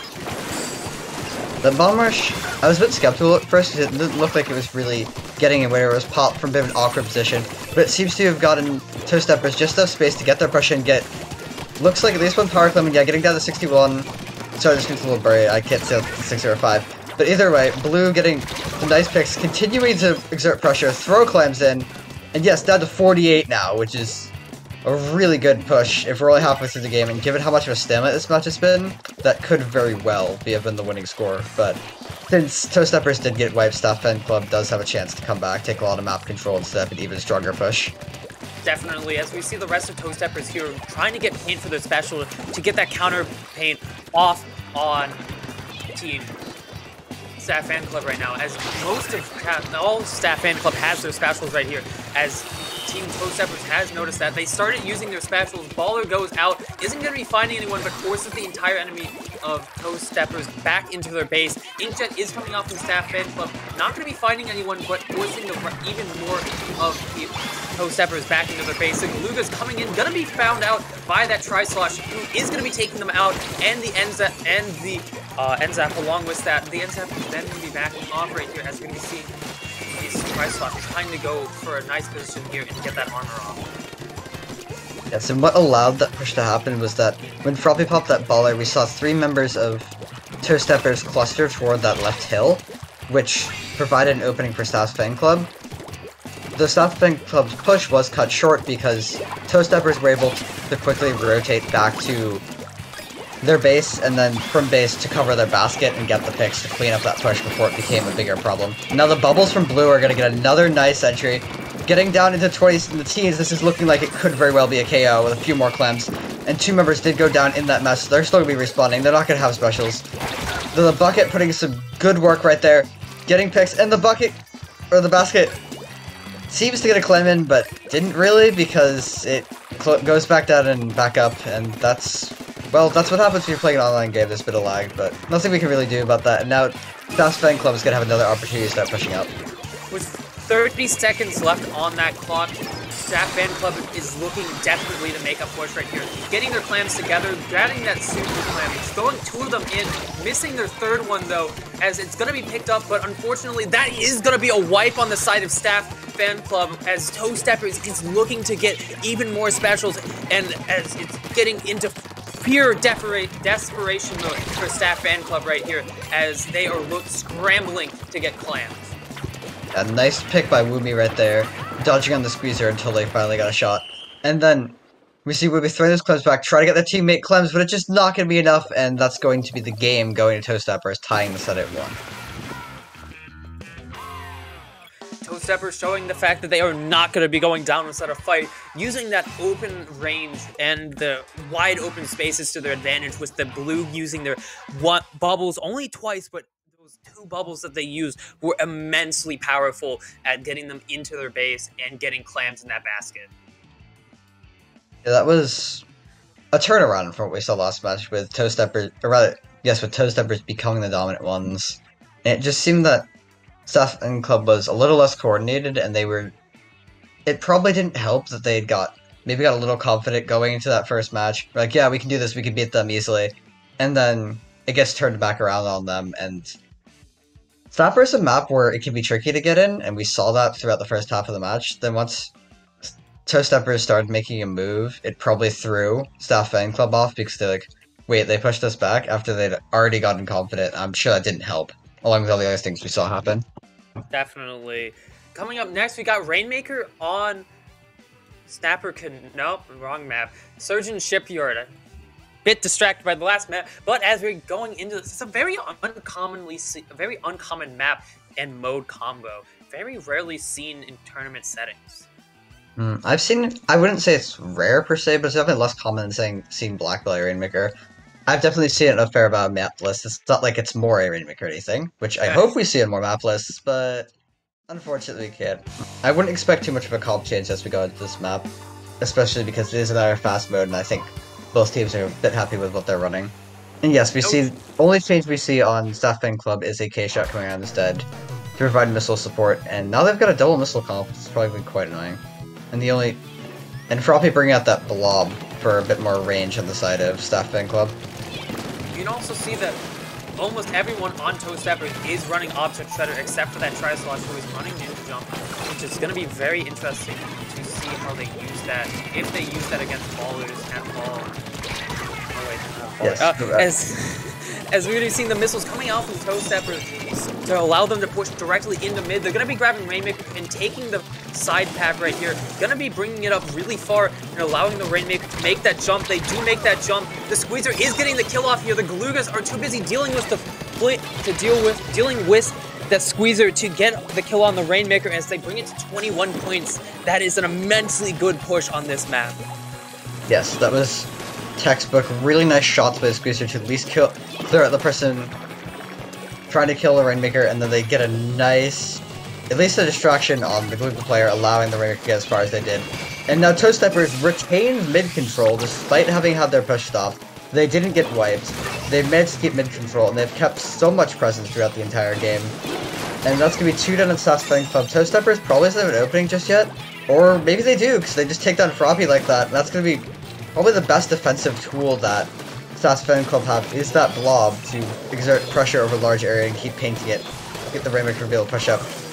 Now, well, this looks like the going to get much further unless they can somehow kill Froppy because blob in that narrow area, area isn't letting anyone through. As two people are going to be going down the staff fan club along with toe steppers. That is going to be forcing the rainmaker to go back. Froppy quickly rotating onto that k shot taking them out not allowing them to get into the base and take them out.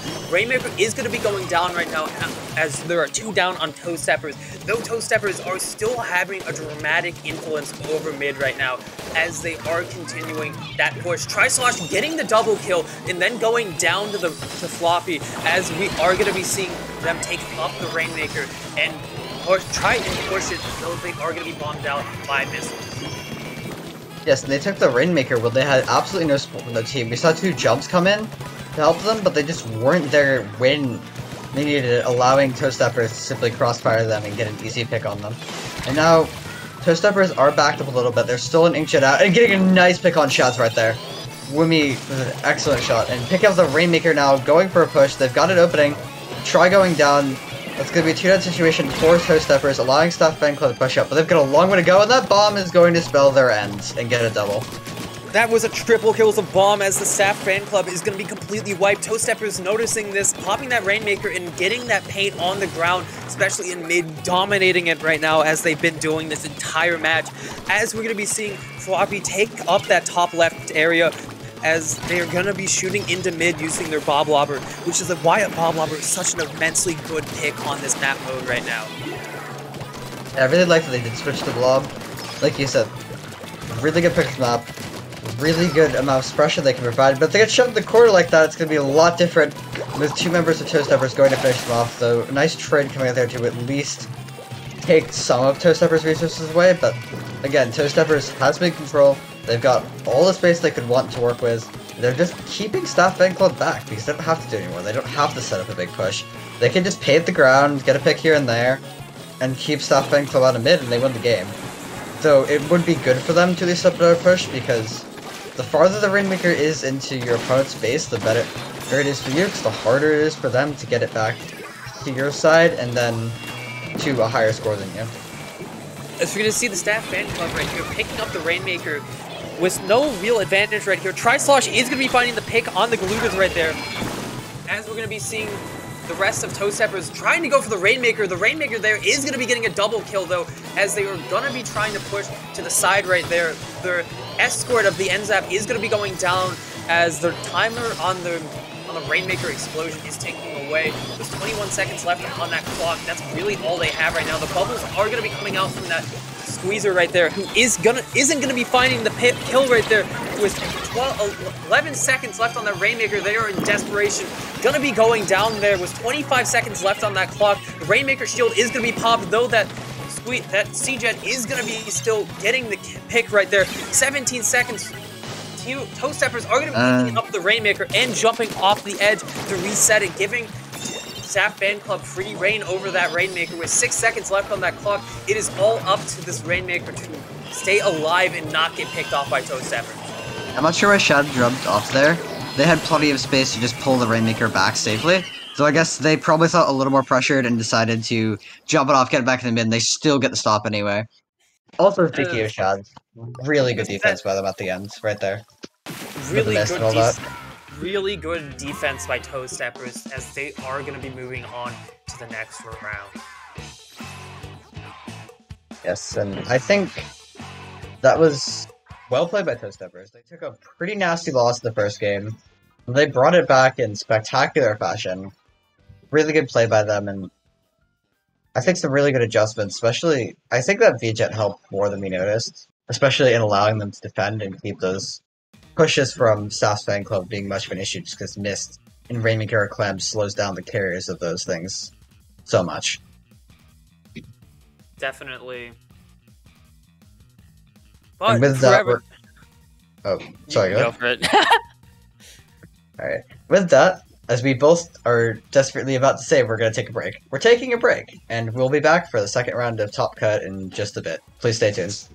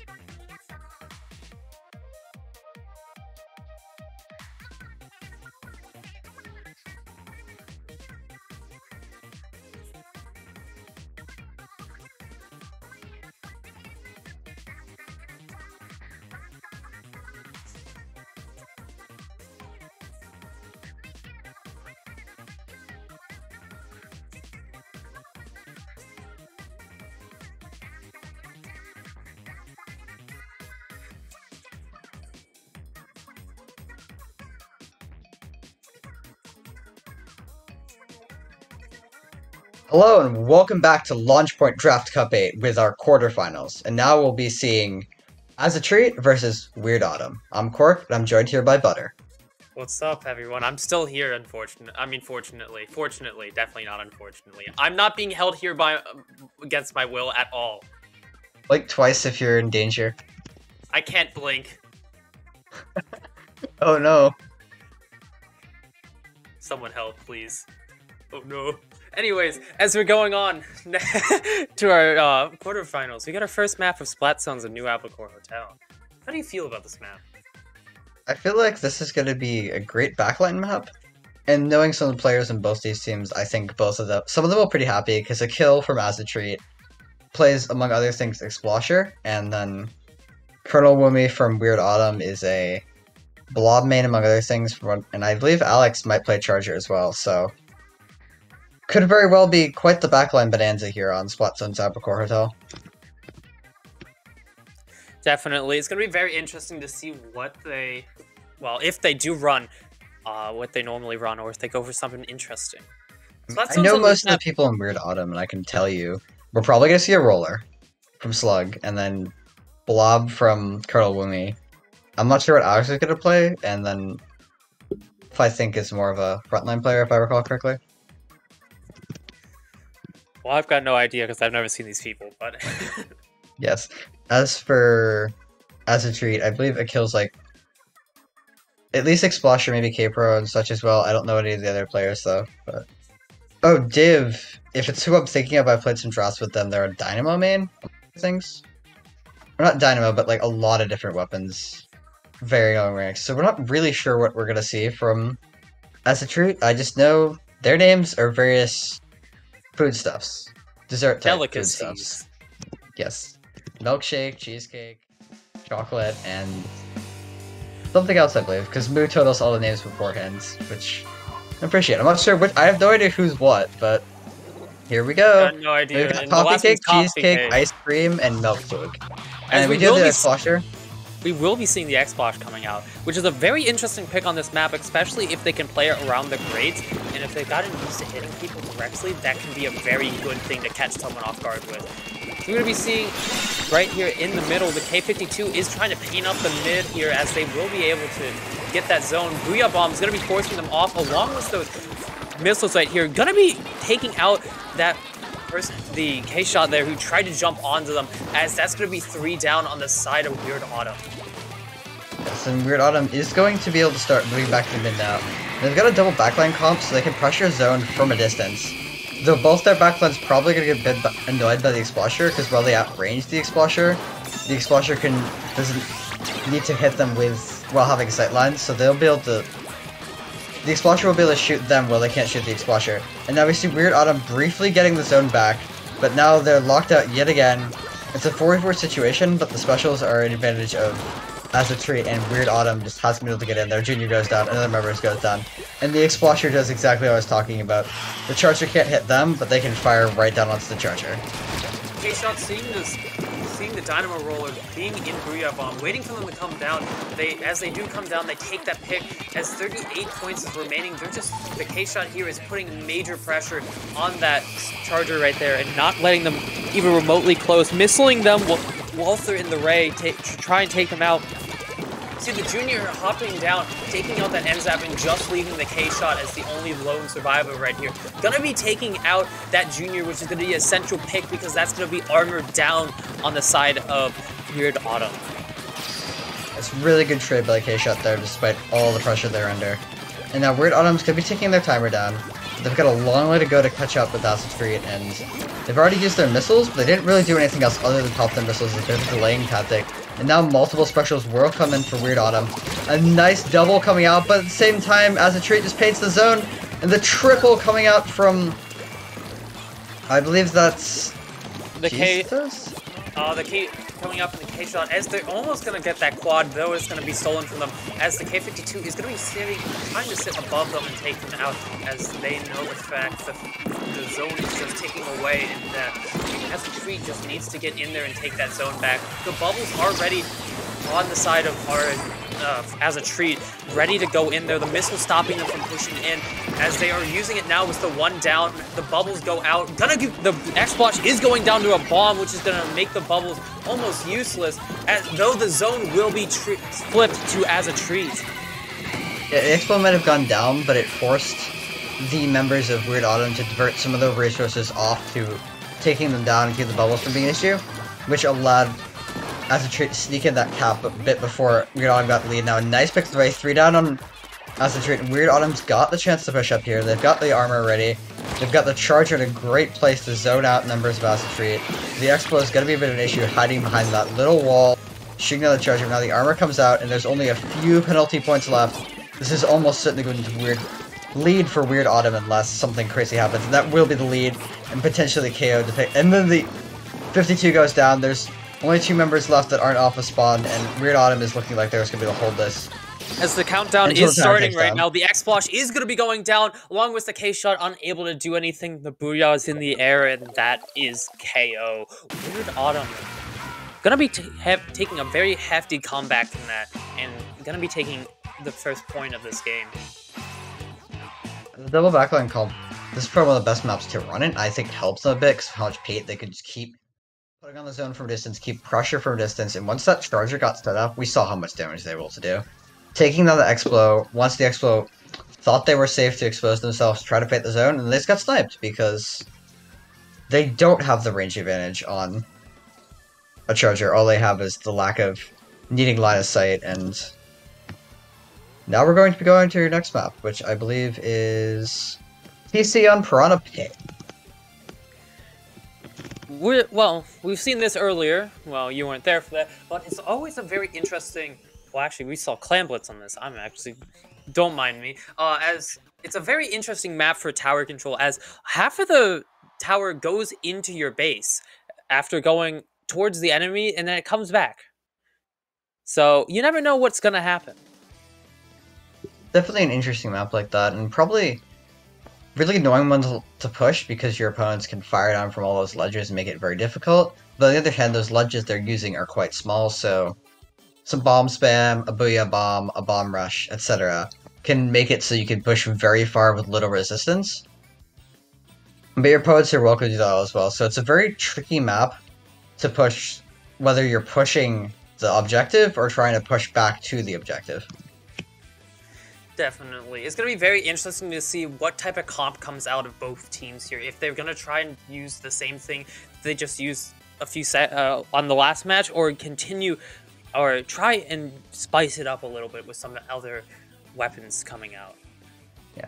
I think we'll see Weird Autumn keep at least one of their backlines. Probably not both because Piranha Pit's more cramped, but keeping either of those backlines will give them a special they can use to stop the tower.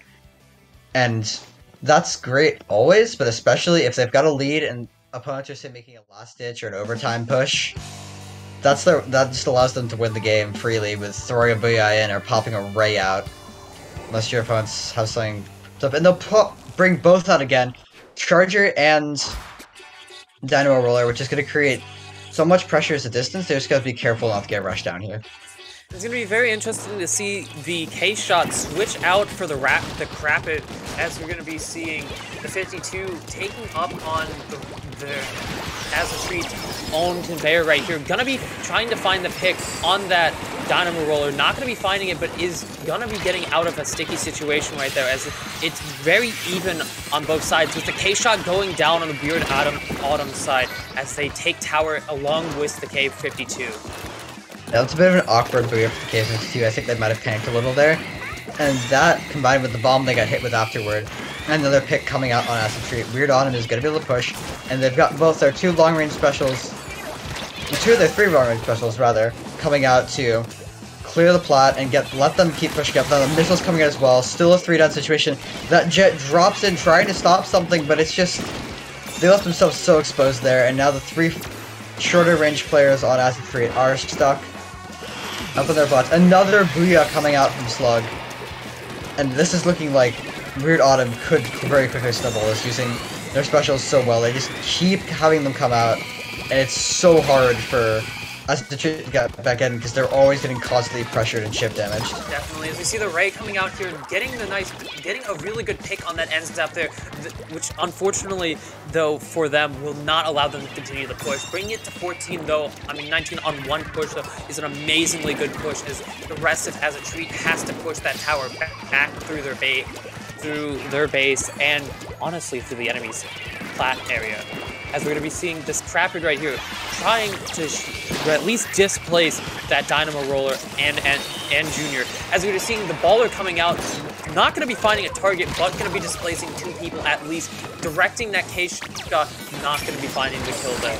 As two down on as a treat, Weird Autumn is starting to take tower again. Yeah. The Blaster provided distraction for Treat to start pushing, but they just lost too many other members in other fights for that distraction to be worth anything, and now as a treat, or rather Weird Autumn can just start taking map control again, painting up, popping some more specials, and they're not they're gonna set up in their push, but they don't really need to push that far. They just need to keep exerting pressure, popping their specials, and making it hard for as a treat to control mid. Definitely, as we see as a treat go two down right here with that Dynamo. The Ray is coming out on the side of as a treat, hits the Dynamo now knows where that blaster is and is gonna be trying to put them out of position and get them out of there before they can get their special and get put into a better position to try and take out the rest of the team. As the blaster is gonna be taking out the junior on tower, that has not caused the end of the push yet, as tower is now gonna be starting to move back, but just because it's moving back doesn't mean that Weird Autumn is just gonna let up on that push.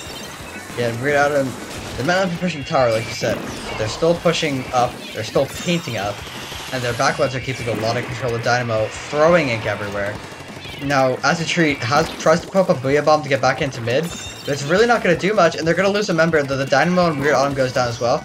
And as a treat, finally has a chance to push, but as soon as they have a chance to push, they go three down, and now Weird Autumn will continue to push up, throwing some bombs and just sort of sitting on the tower. Kalon's just gonna probably sit here, paint up, throw some bombs, like I said, and then let their other teammates keep putting the special pressure in while they paint for armor and add a little more of their own chip damage into the mix.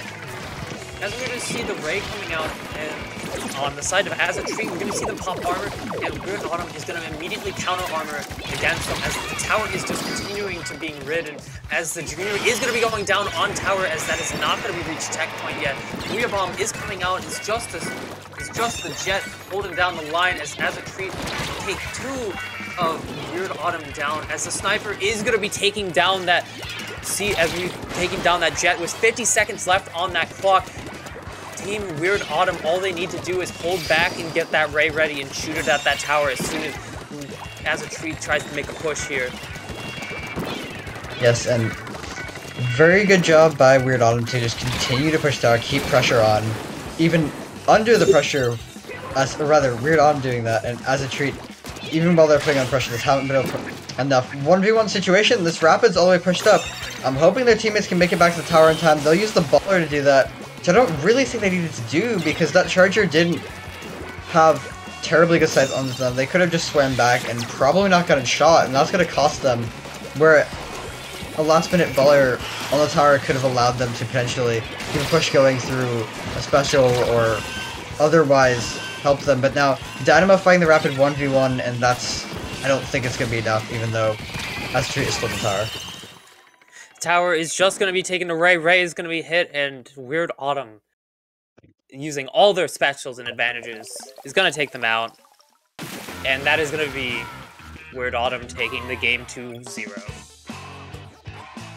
Very well played by Weird Autumn. Dominant 2-0 right there. A very aggressive play and just overall really well played on the side of Weird Autumn. Trail coordination was, I think, a bit better in the first match, and they just kept popping specials that would zone out as a treat, and as a treat didn't have the same level of coordination. They didn't have quite the same specials that, quite the density amount of specials that allowed them to keep zoning things out, but they weren't able to coordinate theirs much at all, really. Definitely. As we're going to be taking a quick break in between our, well, before semifinals. Stay tuned. We're going to be switching to best of five as teams are going to start duking out for that lustrous title.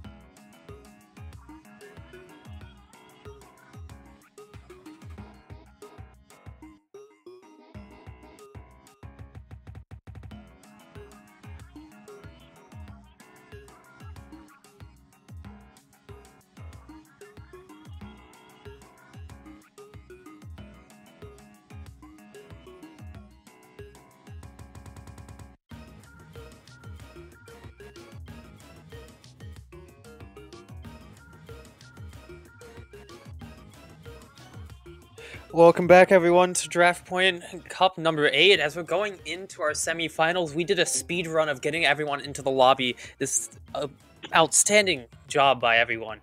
Uh, as we're back here, I'm Butters still, as I'm also still joined by Quark. As we're moving on to best of five now. Yes, and well, this seems to do a good job pressing the A button and moving the directional stick quickly to type the password in. Always appreciate when teams get in quick because this tournaments running on time is always a nice thing, and having to wait for stream matches is no fun for anyone. And the teams we will be seeing that typed in their password so fast are going to be Fruit Basket and iPad Gods, which makes sense they got in here so fast. They're probably used to typing their passwords in their iPads or what have you. Definitely. Well, I believe we had. Yep, iPad Gods was on stream earlier, our first round of groups. It's nice to see that they're back already and ready for another fight as they're going up against uh, Fruit Basket, who have been dominating their bracket so far, 2 0ing every other team that they've played against and going perfect in their group stage. These are Titans duking, duking it out right now. Yeah, they are. Well, they're iPad Gods for a reason, and we're gonna have to see if Fruit Basket is going to be able to continue the run, or if iPad Gods is gonna put it to the stop. And we're gonna start on Clam Blitz the Reef, and that's an interesting comp coming out of. I believe that's iPad Gods. I like. As we s- I see iPad really like it. As we see iPad Gods going for their signature bubble strategy again, along with their 10. A very interesting, always interesting comp with them. I'm kind of surprised they didn't go for the K Junior, but you know you can't win them all. As we're going to be seeing Fruit Basket here pushing directly into their bait, into iPad God's base. Gonna be going two down though, as iPad Gods see this and they are going in for that kill on that Junior right here. As you can just see iPad Gods taking advantage of their misfortune uh, Fruit Basket's misfortune and misplacement and using it to their fullest advantage. Their stamp is going to be canceled as one of them is going to be going into Inkjet. Not to be finding two people, allowing the rest of iPad Gods to come in and try and get scores of Clam. Yeah, Inkjet really kept that for me total class for iPad Gods because first it seemed like it came out a bit too late. Tent had already gone down, but then it got a double and at least kept this game neutral instead of leaving a massive opening for Fruit Basket. Now Fruit Basket's going in with bubbles of their own. They've got the Power Clam jump, but it's be too late. The Power Clam carrier, or rather a different member the team, to be stabbed in the back. The Power Clam carrier is going down as well. Must be another opening for iPad Gods, who have such a great comp between the tent, the bubbles, the hammer, for just getting in and putting pressure on. And surprisingly, the first armorless comp we've seen in this top cut, which, I mean, it's good to see a comp without armor because we've always seen armor, and it's nice to see people doing something different. And they've still got so many ways to get in without that armor. They don't need it. As we can see here, the Inkjet is going to be going up, putting immense amount of pressure in. The bubble is going to be used as an amazing shield right there. They're going to be missing that second Super Clam as they...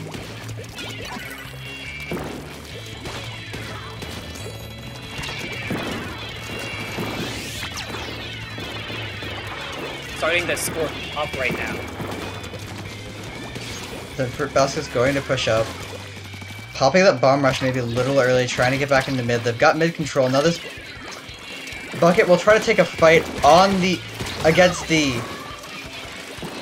Splatling. And the Splatling is just like, I've got the range, you can't do that. And now the tent pushing up with the bubbles and perhaps saving both of those members from dying to the bubbles with the tent shield. Really good play right there. And now we see this ballpoint Splatling continue to just put up, hang back, keeps some pressure, keeps some paint, and the bucket's back for round two, and this time the bucket's gonna win the fight. And now there's gonna be an opening for Fruit Basket to push up and try to take the lead. So we see the bucket here being forced to go away from that 10 as the 10 is looking to take that mid position with as they have that hammer and just being a 10 in general. This slosher here sees this sees this K shot, oct- I mean Octo shot off on their own and just um, ready to go for that pick. Gonna be missing their burst bomb rush though, and uh, isn't gonna be fully finding that as they are gonna be getting armor and push even further into the base. Fruit Basket is one person down though, and then two people down, and the entirety of iPad Gods know where that bucket is. Bucket is gonna be going down as that is gonna be two down on the side of Fruit Baskets. iPad Gods are using this to their advantage using the pushing into the base, using that 10 shield, getting their bubbles of their own. Gonna be scoring a basket right here. As they pop their bubbles and are just gonna be using to keep on scoring those clams, bringing it past 50 and down to 44. Gonna be that, but that will be the end of that push right there. Really excellent rain placement by the ballpoint right there, zoning out Basket for long enough for the score to get down to 44. Bubbles could have been used as a shield instead of getting popped immediately, but other than that, really good push by iPad Gods, and now Fruit Basket's gonna move up with the push there, having gotten that wipe. Clears out the 10 shield and picks the 10, which is gonna make their lives much easier. But they drop in a little too fast and fall on a bunch of missiles, and now they've got to clean up all these clams. They've got the resources to make this push, at least in terms of clams, and they have the 3v3.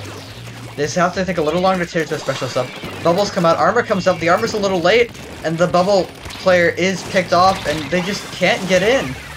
And looks like we have a bit of lag there, but they do get, finally get in, or not? The score's still reading 100. Okay. Uh, the the There we lobby go. seems to be lagging heavily amount, as we're going to be seeing the rest of uh, iPad gods getting themselves ready to in better position to try and get uh, a strong hold over not only mid but their own base, so that Fruit Basket can't push. Because all Fruit Basket needs right now is two super clams in that basket.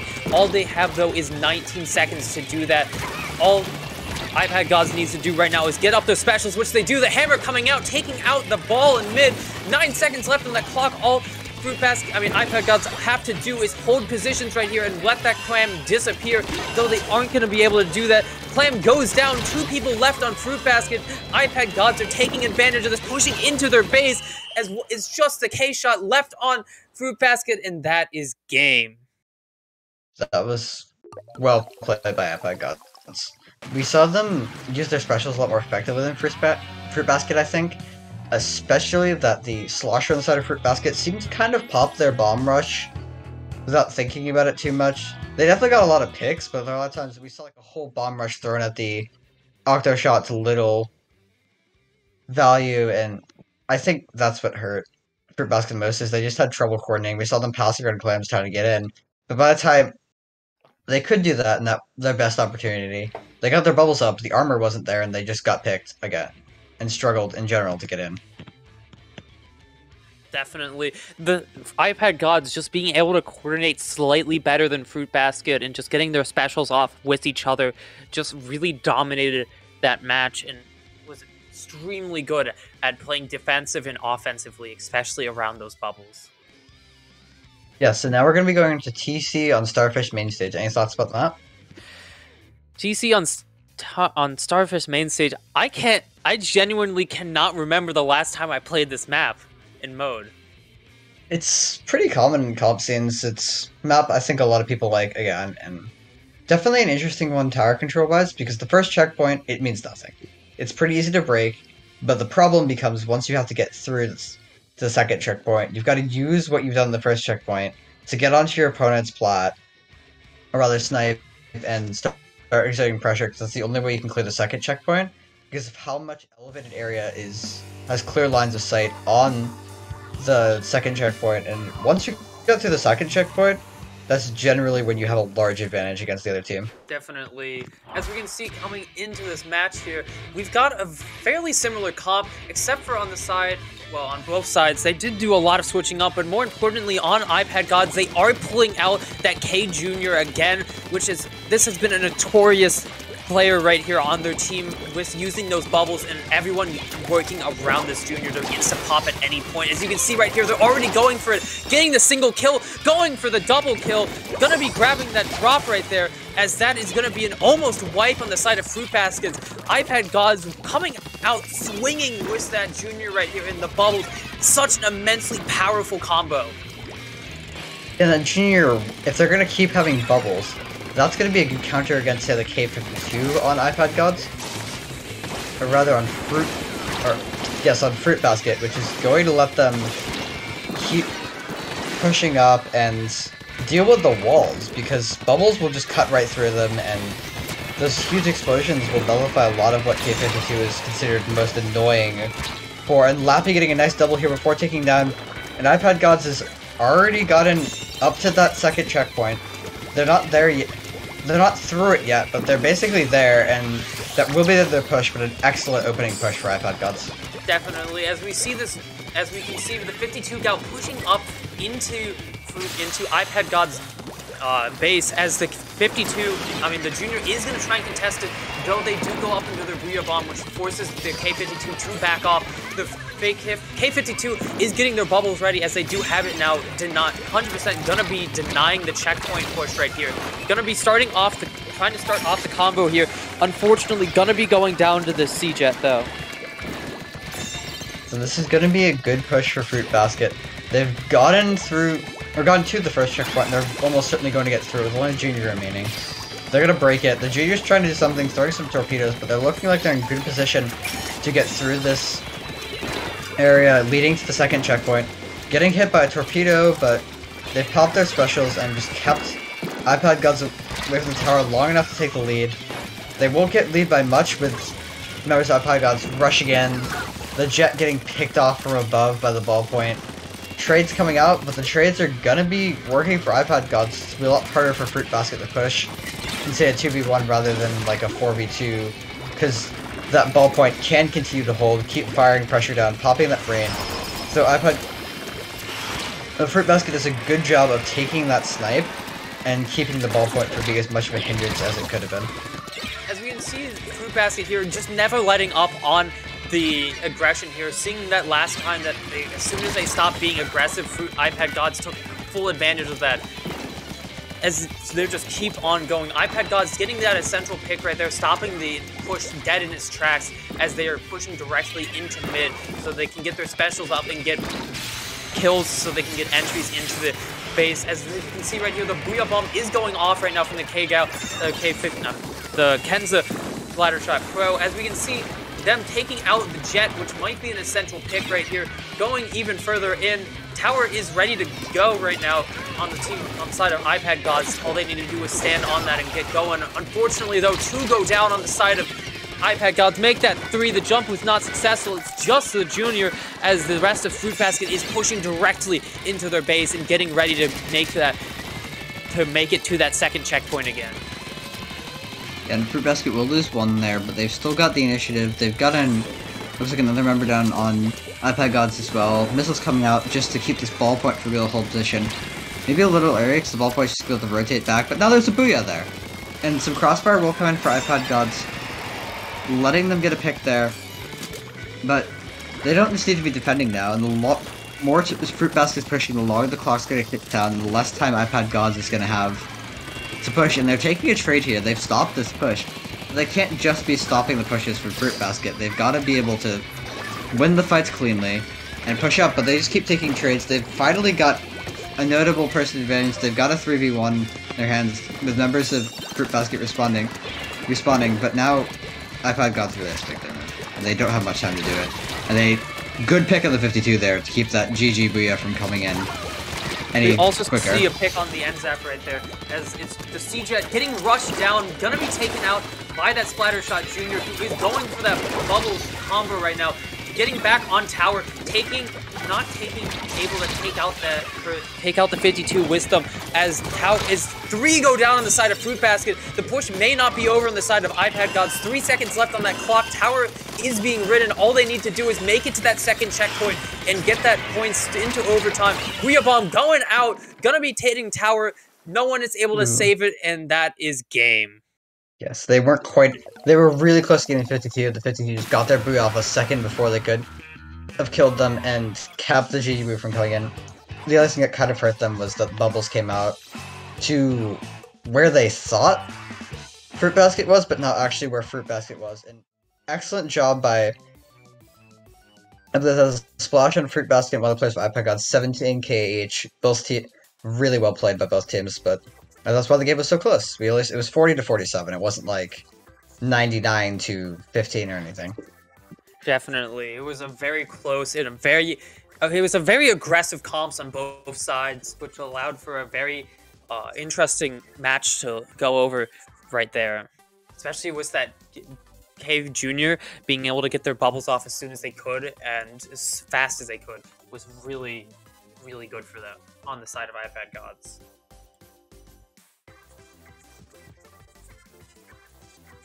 Yes, and now we're going to be moving on to our next match, which is going to be Rainmaker and Blackbelly Skate Park.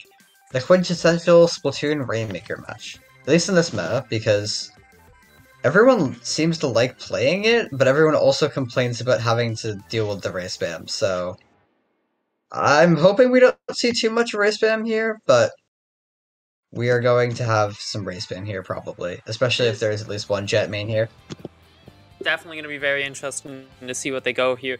I'm not a personal big fan of this map. I feel like it's a bit too too short, and it makes the matches go a bit too fast. But you know, it's Rainmaker. It's always going to go fast. The entire idea of Rainmaker is to be fast. So we'll see if both teams keep up the heavy aggression. We'll see. I want to see that K Junior come back into play here, but it will. I won't be that upset if it doesn't.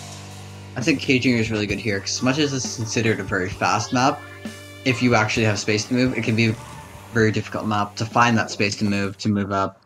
And we won't see the K Junior, but we'll see the K Junior player pull out a Sorella Brella, which I think is a good pick. Having that bomb rush will let them pop the Rainmaker faster, and that's a Zink Mini Splatling. That's something you don't see every day.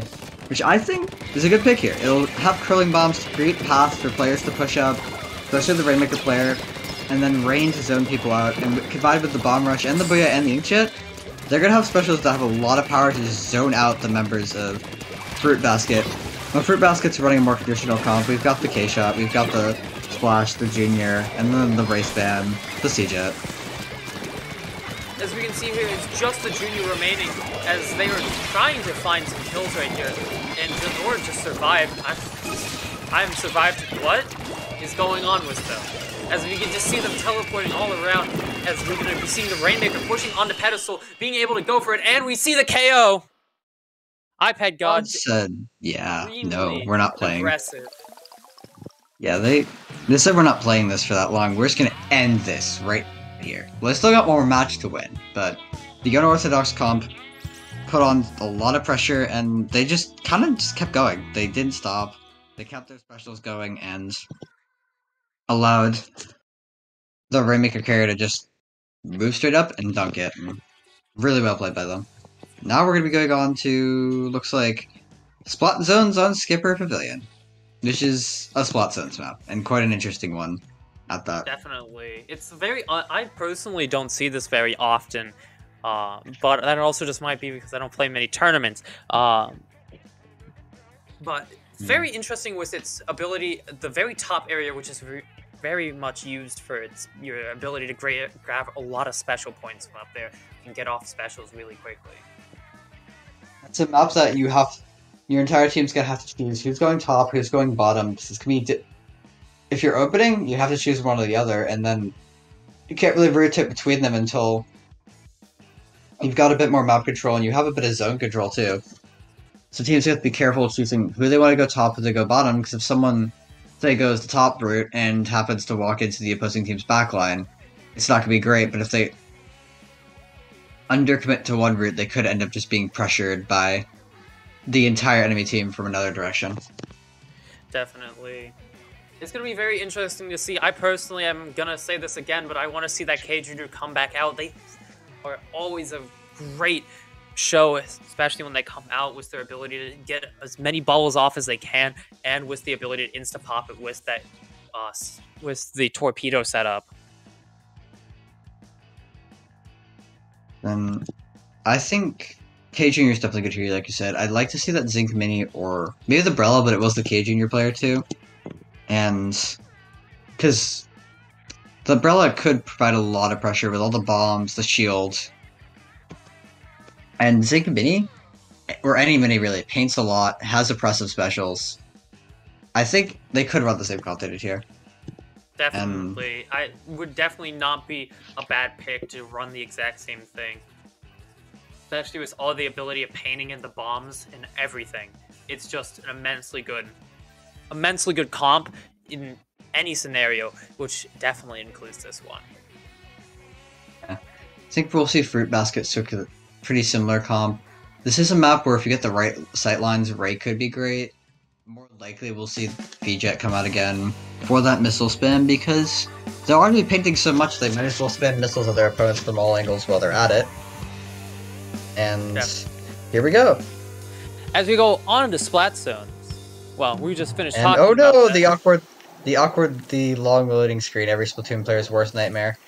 And we do see the mini come out this time, a regular one, and not a zinc one. And KG player excited opting for a Sorella Tent, which is a really great pick here because of how strong Curling Bomb Rush to be on this map. as we're going to be seeing two people duke it out on the top side. We're going to be seeing Team Fruit Basket taking one down on the side of the bucket. As we're going to be seeing the rest, the Charger on the side of Fruit Basket, desperately trying to get themselves into a good position to either get their special off or get into a position where they can try and hit someone. Missiles coming off on the side from iPad Gods as they are just doing an amazing job holding down that zone with just two people on it right now. As the rest of their team is pushing up, trying to find themselves picks and kills right here. As we're going to be seeing two go down on the side of Fruit Basket, being Joseph Charger and the Bucket. The iPad Gods are being as aggressive as always. Two go, two more go down on the side of Fruit Basket as they're trying to make it go to be three, as it now is three. As iPad Gods are doing exactly what they do best in holding out and being heavily aggressive. Yeah, that slosher we saw go in there just walked in range to most iPad Gods. And iPad God still hasn't had to use their specials. They've been doing a really good job conserving them. Now with all the bombs running to zone, they'll pop the Booyah, they'll pop the Bomb Rush, which will let them hold the zone for a lot longer. Another Booyah coming out. They lost a member, but it's a 3v3, and they're just painting more. They saved up their specials, and they just kept painting, and their specials painted a little bit more, and that's going to be the game and the set for iPad Gods, who will move on to Grand Finals. iPad God showing that they are truly the god of gaming, specifically on an iPad. Yes, Splatoon 2 on the iPad. I don't know how you're doing it, but it's probably a thing. Someone's probably find a way to do that. Probably. Maybe they're playing handheld mode. Perhaps. But, like, you could somehow configure a touchscreen to be the inputs instead, because reasons. Yeah. And with that, that's gonna be it for us. Butters finally gets a break, and I get to leave? we're gonna be moving. The we're light. moving on to the wonderful Half and Debbie. They're great commentators, and hope you guys like them. One more last thing. Uh, any social media or anything you want to plug, Butters? we- because self promo is a usual thing when Yeah. you commentate, especially for as long as you did. Oh, if you guys love my buttery voice, you can always catch me at my Twitch, which is uh, twitch.tv slash butterreminder1245. I'm actually going to be streaming later today at 8 o'clock EST. Me and a few of our, my friends are effectively running a podcast with a game on the, on the side. Uh, but other than that, you can also catch me at my Twitter at butterreminder1235, uh, where I will be starting to post stuff more often. I'm on Twitter at StrangeCork. I just retweet the threatening music notation account and some art. And with that, we're gonna be signing off. Have a great day, everyone, and I hope you enjoy Grand Finals.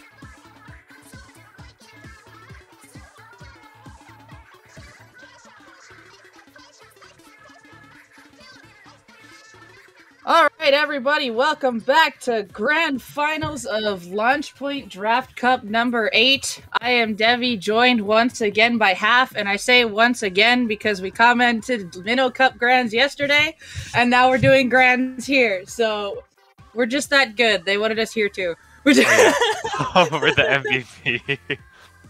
I mean, we got two really good teams here: Weird On versus iPad Gods. Uh, both, uh, I think, were top one of the top four seeds. I think seed number four and versus seed number three. Obviously, seeds don't matter at all, as we learned throughout every tournament we watched. But um, two really good teams here. We obviously see Weird On with that Dynamo Charger comp and iPad Gods with I don't know what comp they run, but I mean, we're starting off with the LaunchPoint Classic. We got Splat Zones Wahoo. Like, great, great start to Grants. I mean, who doesn't love this map? This is a, a really nice map, especially since we just mentioned that there is a potential Charger Dynamo combo. Uh, that can be pretty nasty on Zones Wahoo, uh, as long as it gets control. Um, however, it can be bombed out, it can be missiled out. Um, but I imagine, I imagine this pair definitely knows how to work around these specials because if you use that weapon long enough, you know how to work around it. You can play together with your other fellow range person, and then they can make it work. So. I mean, that dynamo on this map can just sit behind that little like ledge right there. Mhm. Like that can just sit there all day. And we already see our comps coming. We have the jet instead of a charger right here. We already have a mini and a tent. Really interesting comp. Looks like the mini's job is probably going to be able to take just like keep that dynamo out of there with the dynamo running a booyah bomb spam, which booyah bomb is a really good choice on this map. Bomb can basically take control of the entire circle, but however, if more people are shooting through it, uh, the Booyah Bomb won't do a whole lot. however, uh, I, I'm- really want to see how this Dynamo works as well because it can also counter the tent shield by just clicking over it and whatever's behind it if the mini does try to combo with the tent shield. Uh, but right now, this Dynamo's got a lot of control. There's one for one. It looks like someone tried to jump out. Dynamo here trying to see if he can get people away from the ledge, just getting more ink, putting Sprinkler down. Does get picked off by that Inkjet. Nice shot by the Inkjet. I mean, this tent right here is actually probably gonna have a field day right here. There's only one lethal that can actually like throw at the tent, and the tent can die right here. The tent's obviously right down, but looks like we're gonna have. I think I think that's the Octopus right there, trying the shark, seeing that, seeing maybe that first round throw. I'm gonna try and chase them. There's the there's the two right there. That looks like they're gonna get the kill, and the other person's gonna fall. Looks like it's just gonna be a trade right there. And looks like the blue, I mean iPad guys are probably gonna like take control. Mhm, They just with that one uh, Picasso, the follow up, they still managed to come back. They're contesting zone. Dynamo gets a pick on the zone. Just look at how much control it has. wow. I mean, yeah, with, and even though you mentioned, yeah, and even though you mentioned the one, the one lethal, they do have still a lot of um, uh, fall off poke, poke over top with the help of the, the jet there as well, even slowing it down with the mist because I think that is uh, that's the vanilla. Yes, it is. I mean, when Dynamo when Dynamo is actually hitting a shot, and it's not like weirdly just dumb sometimes hitting just for like 90% damage, not killing. It's really good. But like we already have iPad gods cleaning up, not preventing them from taking lead right there, which is really crucial right there. As you see the tent trying to hold their flat right there. It's the junior with armor, the tent right here. They're, they're gonna they have no bombs against them. As the splash goes down, that's actually a really good take from iPad gods. It looks like they're probably gonna be gonna extend to their lead. Mhm. Tent is in uh, prime position, even just using their own curling bomb rush just to keep the pain up. Where uh, this mist isn't going to do much for him, but the missiles, oh, pushing back into the blue. That's such a nice combo. That's I don't, I don't, I didn't think the 10 was expecting honestly. We see a full team wipe on, on the side of iPad Gods. Looks like weird him, trying to take control here. The Dynamo, they're just going to sit left right here. We're able to try to attack that rail over there. They're just trying to hold left right here. As we see the Jet right here popping missiles maybe a little bit early right here. We see specials, Weird Arms just popping specials a little bit early. As the splash sadly goes down, it looks like iPad Gods might have a chance. So As the 10 goes down actually, and it looks like iPad God trying to push it with all their specials, and they get a nice kick on the Dynamo. That's going to prevent them pain a lot. It looks like the Junior goes down. Looks like iPad Gods once again equal. Mm, that was uh, nice counters from both. Like the the one side specials did look out. Yes, that they did come out uh, a little bit early, but uh, um, they're both countering each other really well. Like um, as it sits, none of them have gotten like a an overly too huge point advantage yet off of what they're doing. So they're countering really well, and it's going uh, really close side by side here. However, iPad gods are now two down. Um, and uh, two of the main painters go down on uh, Weird Autumn. So we'll see what can keep control. We see the Junior going down as well. So it's just the Dynamo left on zone, and iPad Gods uh, is going to be taking control of the zone, and they're going to come right back. But we'll see what Weird Autumn has to counter this this time. But the splash getting caught out again down below. I think they need to look at uh, the path of how they're uh, coming back in because they're getting caught out first uh, a couple times here when they're trying to push back in. Yeah, and they're like their only aggressor on the team. Jet can't really be an aggressor. Dynamo can't really be an aggressor also because he can't really paint that much. As I weird out somehow take zone. I don't know how they took zone right here. The tent trying to distract the splash. The splash finally gets the tent. It looks like iPad gods are gonna take the zone here with like a 2v2 going on right now. It looks like they're gonna bomb rush. I think Weird Out's gonna get the zone right here just for a little bit. Maybe hold him off. Oh wait, no, the Dynamo's I think just sitting behind there. Oh no, that's sorry, iPad gods. It's a, yeah, yeah, Yeah, that's alright.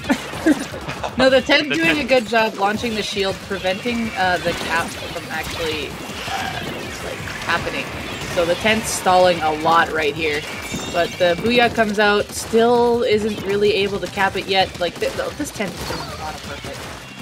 Yeah, man, 10, honestly, without any lethals, it's an amazing weapon. I mean, sadly, the like meta right now is just a bunch of bombs to kick out. But right now, LaunchPoint, low level especially, 10 can work out really well right here. We have 15 seconds left in the match. Weird Out needs to pop the arm right now and push in. Hopefully, they're down one does go down. Six, five, four, three. This looks like a KO. iPad Gods taking game one out Wahoo zones. Oh my goodness. That was so like it was so back and forth in the middle. Like both teams were doing great things just to counter each other to get zone back.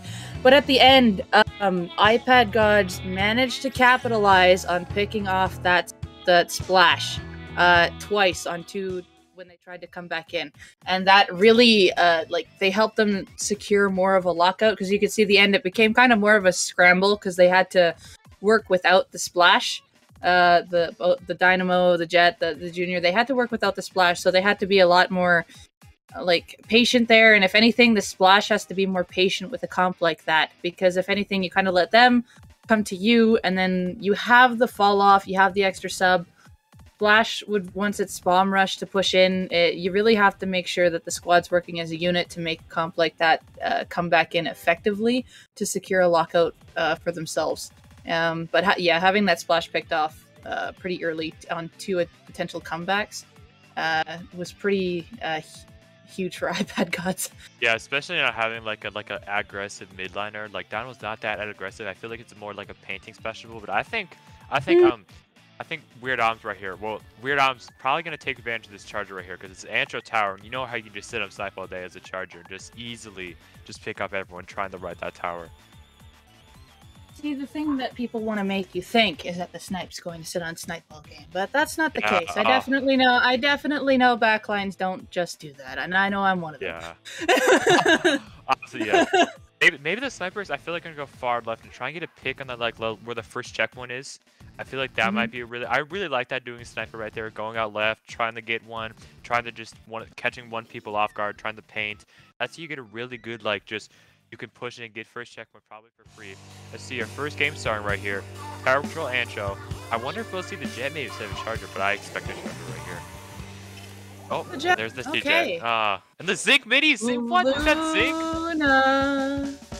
Zink. Mi- Okay, this is is okay. Zink Mini. Uh, I'm happy to see the Luna Blaster, uh, in all honesty. Uh, I don't see too many of them, and I like seeing them uh, come out because they can be uh, really controlling under all of these ledges. If they just get paint underneath the ledge, the Luna just has free range uh, to help aggress what's above them, and even just pushing in street. So when the tower gets a push off, oh, this Luna's a menace to control. You know, I've never, I don't think I've ever seen this count before. We have a 96 K Junior Zink Mini and Luna Blaster Deal. That's the bomber one, the Ink Mine one. Really, I don't know. That's a really different cover here. Jaden using that 96, using that just range advantage to hold, try and get that kill, trying to start to push, but sadly, oh, weird on just is like, okay, since you guys all have aggressive we're just gonna sit back and you guys are gonna have to push us. And it looks like weird on right here. Gonna probably hit the tower. See the Booyah Bomb coming out. Jaden's trapped in a corner. Are they going to get the cancel? They're not going to get the cancel. They're going to get one. So that's a trade right there. That's a good trade right here. Actually two go down on Weird Arm. Looks like that's going to be the end. Not too much, but again, it's still really early in this game. Bubbles are coming out. I'm not sure why. Maybe, I don't know if it was just maybe get the extra paint control. Um, I feel like those bubbles definitely could have been used more on like the left side or to clear more of the left side instead of mid when nobody's really there because they're just coming back in. Um, but yeah, okay, Junior's looking to control here. They're, they're playing a little bit back here because they know that the other team's going to push in. It looks like I think armor went off. Okay, yeah, playing around the teammates, they do get two picks.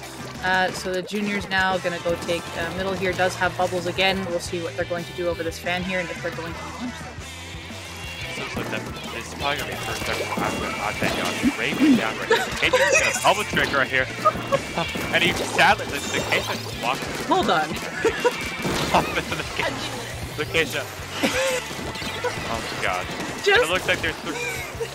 Oh my god. There's so many snipe right now. I mean, Weird Ops is using that knife to advance right now. You see the junior almost coming out right there. The Luna, Luna just pops out of nowhere again. Yep. Luna's, Luna's really actually good on Just sitting below, getting trades in these. Looks like uh, iPad guys are pushing him. They hit two down. Jake, really nice kill right there. It looks like uh, two go down again for Weird Ops. Looks like iPad guys are probably gonna get the second checkpoint right here. It's looking really good for iPad gods. Just catching people out of the Luna's in dominant control. They have their ranged weapons in some nice places to lock out corners.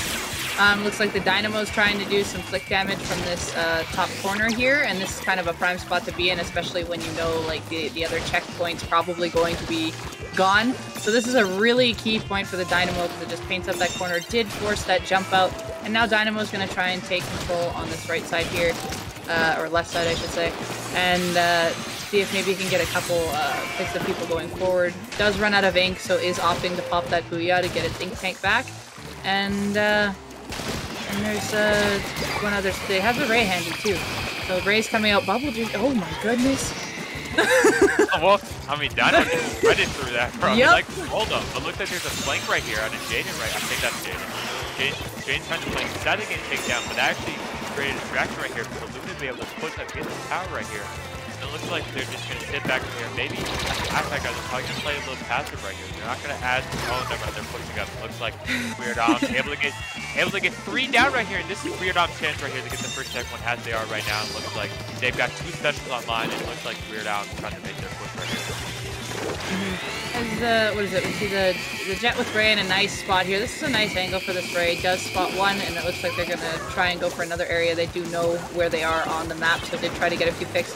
Uh, two do end up going down. It looks like it was a two for two, but uh, iPad gods do have the advantage in this fight here right now, stopping uh, stopping the push that was uh, getting going there. It was looking pretty nice, but uh, iPad gods with a nice stop. The problem, the problem with Weird Ops is that if the K-Shot goes down, they don't have any, any like aggressive weapons that can be able to push and maybe get a trade-off. So like when the K-Shot goes down, uh, iPad guards are able to just get a free like control right now. As we see the K Junior right here looking to probably get a bubble trick right here on the two people in the van. They're probably gonna pop it right now. They're just sitting there still. I mean, we see Weird Arm still Guys, waiting for the moment right there. Oh yeah, no, no. Here comes now. He gets the Dynamo. With the Dynamo to die. Okay, the Dynamo's dead now. Look, he's trying for one more. Sadly, does not get him. Sadly goes down because Weird Arm's gonna it's 2v2 right now. It's the Jet's the only one actually left alive. It looks like 50 seconds left. It looks like this could be iPad game. Mm, Definitely looks like to that job on the junior for waiting as long as that because a lot of times it's just you're sitting there out of play. But if you look how everyone is was on the map there, it is it was just a neutral state. Like the junior didn't even really have to go and paint anything because the other team wasn't pushing immediately like in a burst. And then just as soon as they did move up when their teammates kind of got pushed back, that's that was the time to go in and that's what the junior did. And that was a really nice patient bubble there. Also, we were saying like the the K shot's kind of the only aggro. If you take a look, their dynamo is actually being kind of like the secondary slayer from how they're pl- trying to play. Like they're painting up, yes, but the positions they're taking are also uh, pretty aggressive. And I know uh, a good aggressive dynamo player does want to take those positions, and I do like seeing it. So the dynamo's definitely trying to be a little bit uh or like to definitely be more on the aggro side it's just making sure like the junior can maybe also follow up with it just so that if someone gets close to the feet during a swing maybe like a splat bomb just thrown towards the dynamo can help uh, with the follow off or follow up or push that person back so the dynamo can get the pick um, really really works on teamwork there especially if like the dynamo is the acting second second slayer here Yeah, agreed, agreed. I mean, speaking of Dynamos, I mean, it's Humpback. Okay, so Dynamo, I mean, it's Humpback, but it's not Splash it's actually Clam Blitz. So, I mean, this might Mhm. not be the strongest mode for Dynamo. It still is. Yeah, but I mean, I mean, I mean, I mean, the mode isn't that good just because you can't sit in one place. But like, this map is like prime Dynamo. Like, really good for Dynamo. Actually, actually, really good for Charger also.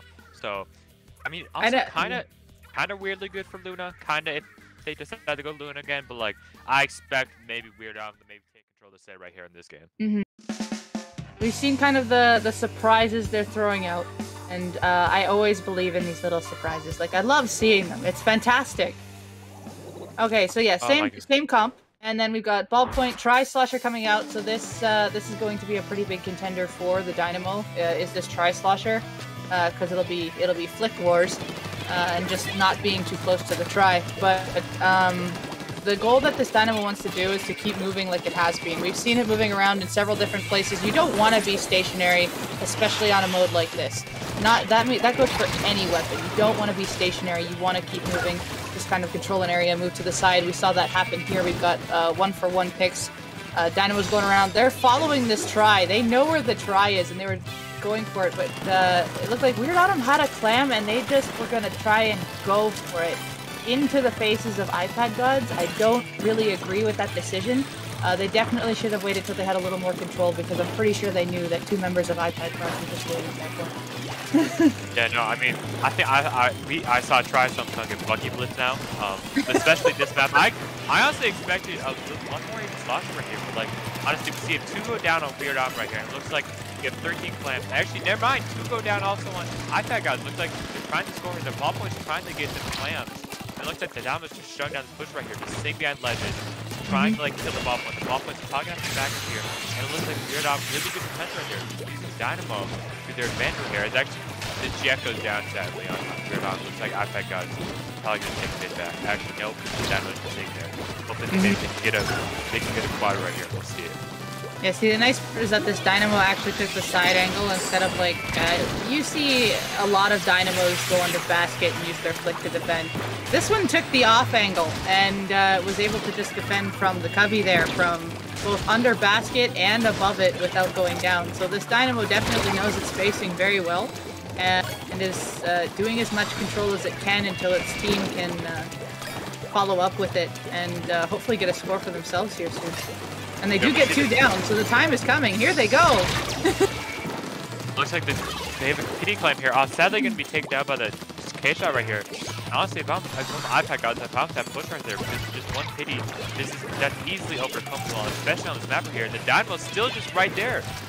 Like we see the Dynamo just sitting there. They're trying to like bomb out the Dynamo, but it's not working. The Dynamo's just really good, holding there. See the Ink Jet, they're probably gonna get the Dynamo right here. They hit the Jet. They're trying to target the Dynamo. The Dynamo's gonna go down. It Looks like iPad gods over here probably gonna score the pity climb, maybe take lead. Yeah, they're getting that uh, pick underneath as well. So now with that advantage, this would be their time to move up. They do get this score. They've got a bunch of clams underneath, uh, or uh, on the wrong side, but they got a bunch of clams to work with here. But Mist coming out and Dynamo Flicks on top. That's hard to move in on. Ah. oh my goodness. Shot coming in and cleaning up, You know, uh, that could making that a three down. I could have got the 37 right there, but the case off like they got one of the pities. They made one of Mm-hmm. the iPad gods even just retreat back, but that's still a really solid push right there. 37 to iPad gods. Now, now they got to force Weird on to come out of their passive and actually play something more aggressive right here. The case gets the case shot, the Occupy kind of tried right there. It looks like the ball point's going to go down sadly. It looks like iPad gods are trying to back up here. Weird Arms taking the advantage right here. Yeah, this is the team. If the Dynamo's moving up, I, I would love to see more of Weird Autumn's team move up with this Dynamo because this Dynamo is adding so much aggressive pressure, but I feel like the other two aren't following up with it as well as they could be because the Dynamo is like your extra paint supporter shield kind of thing.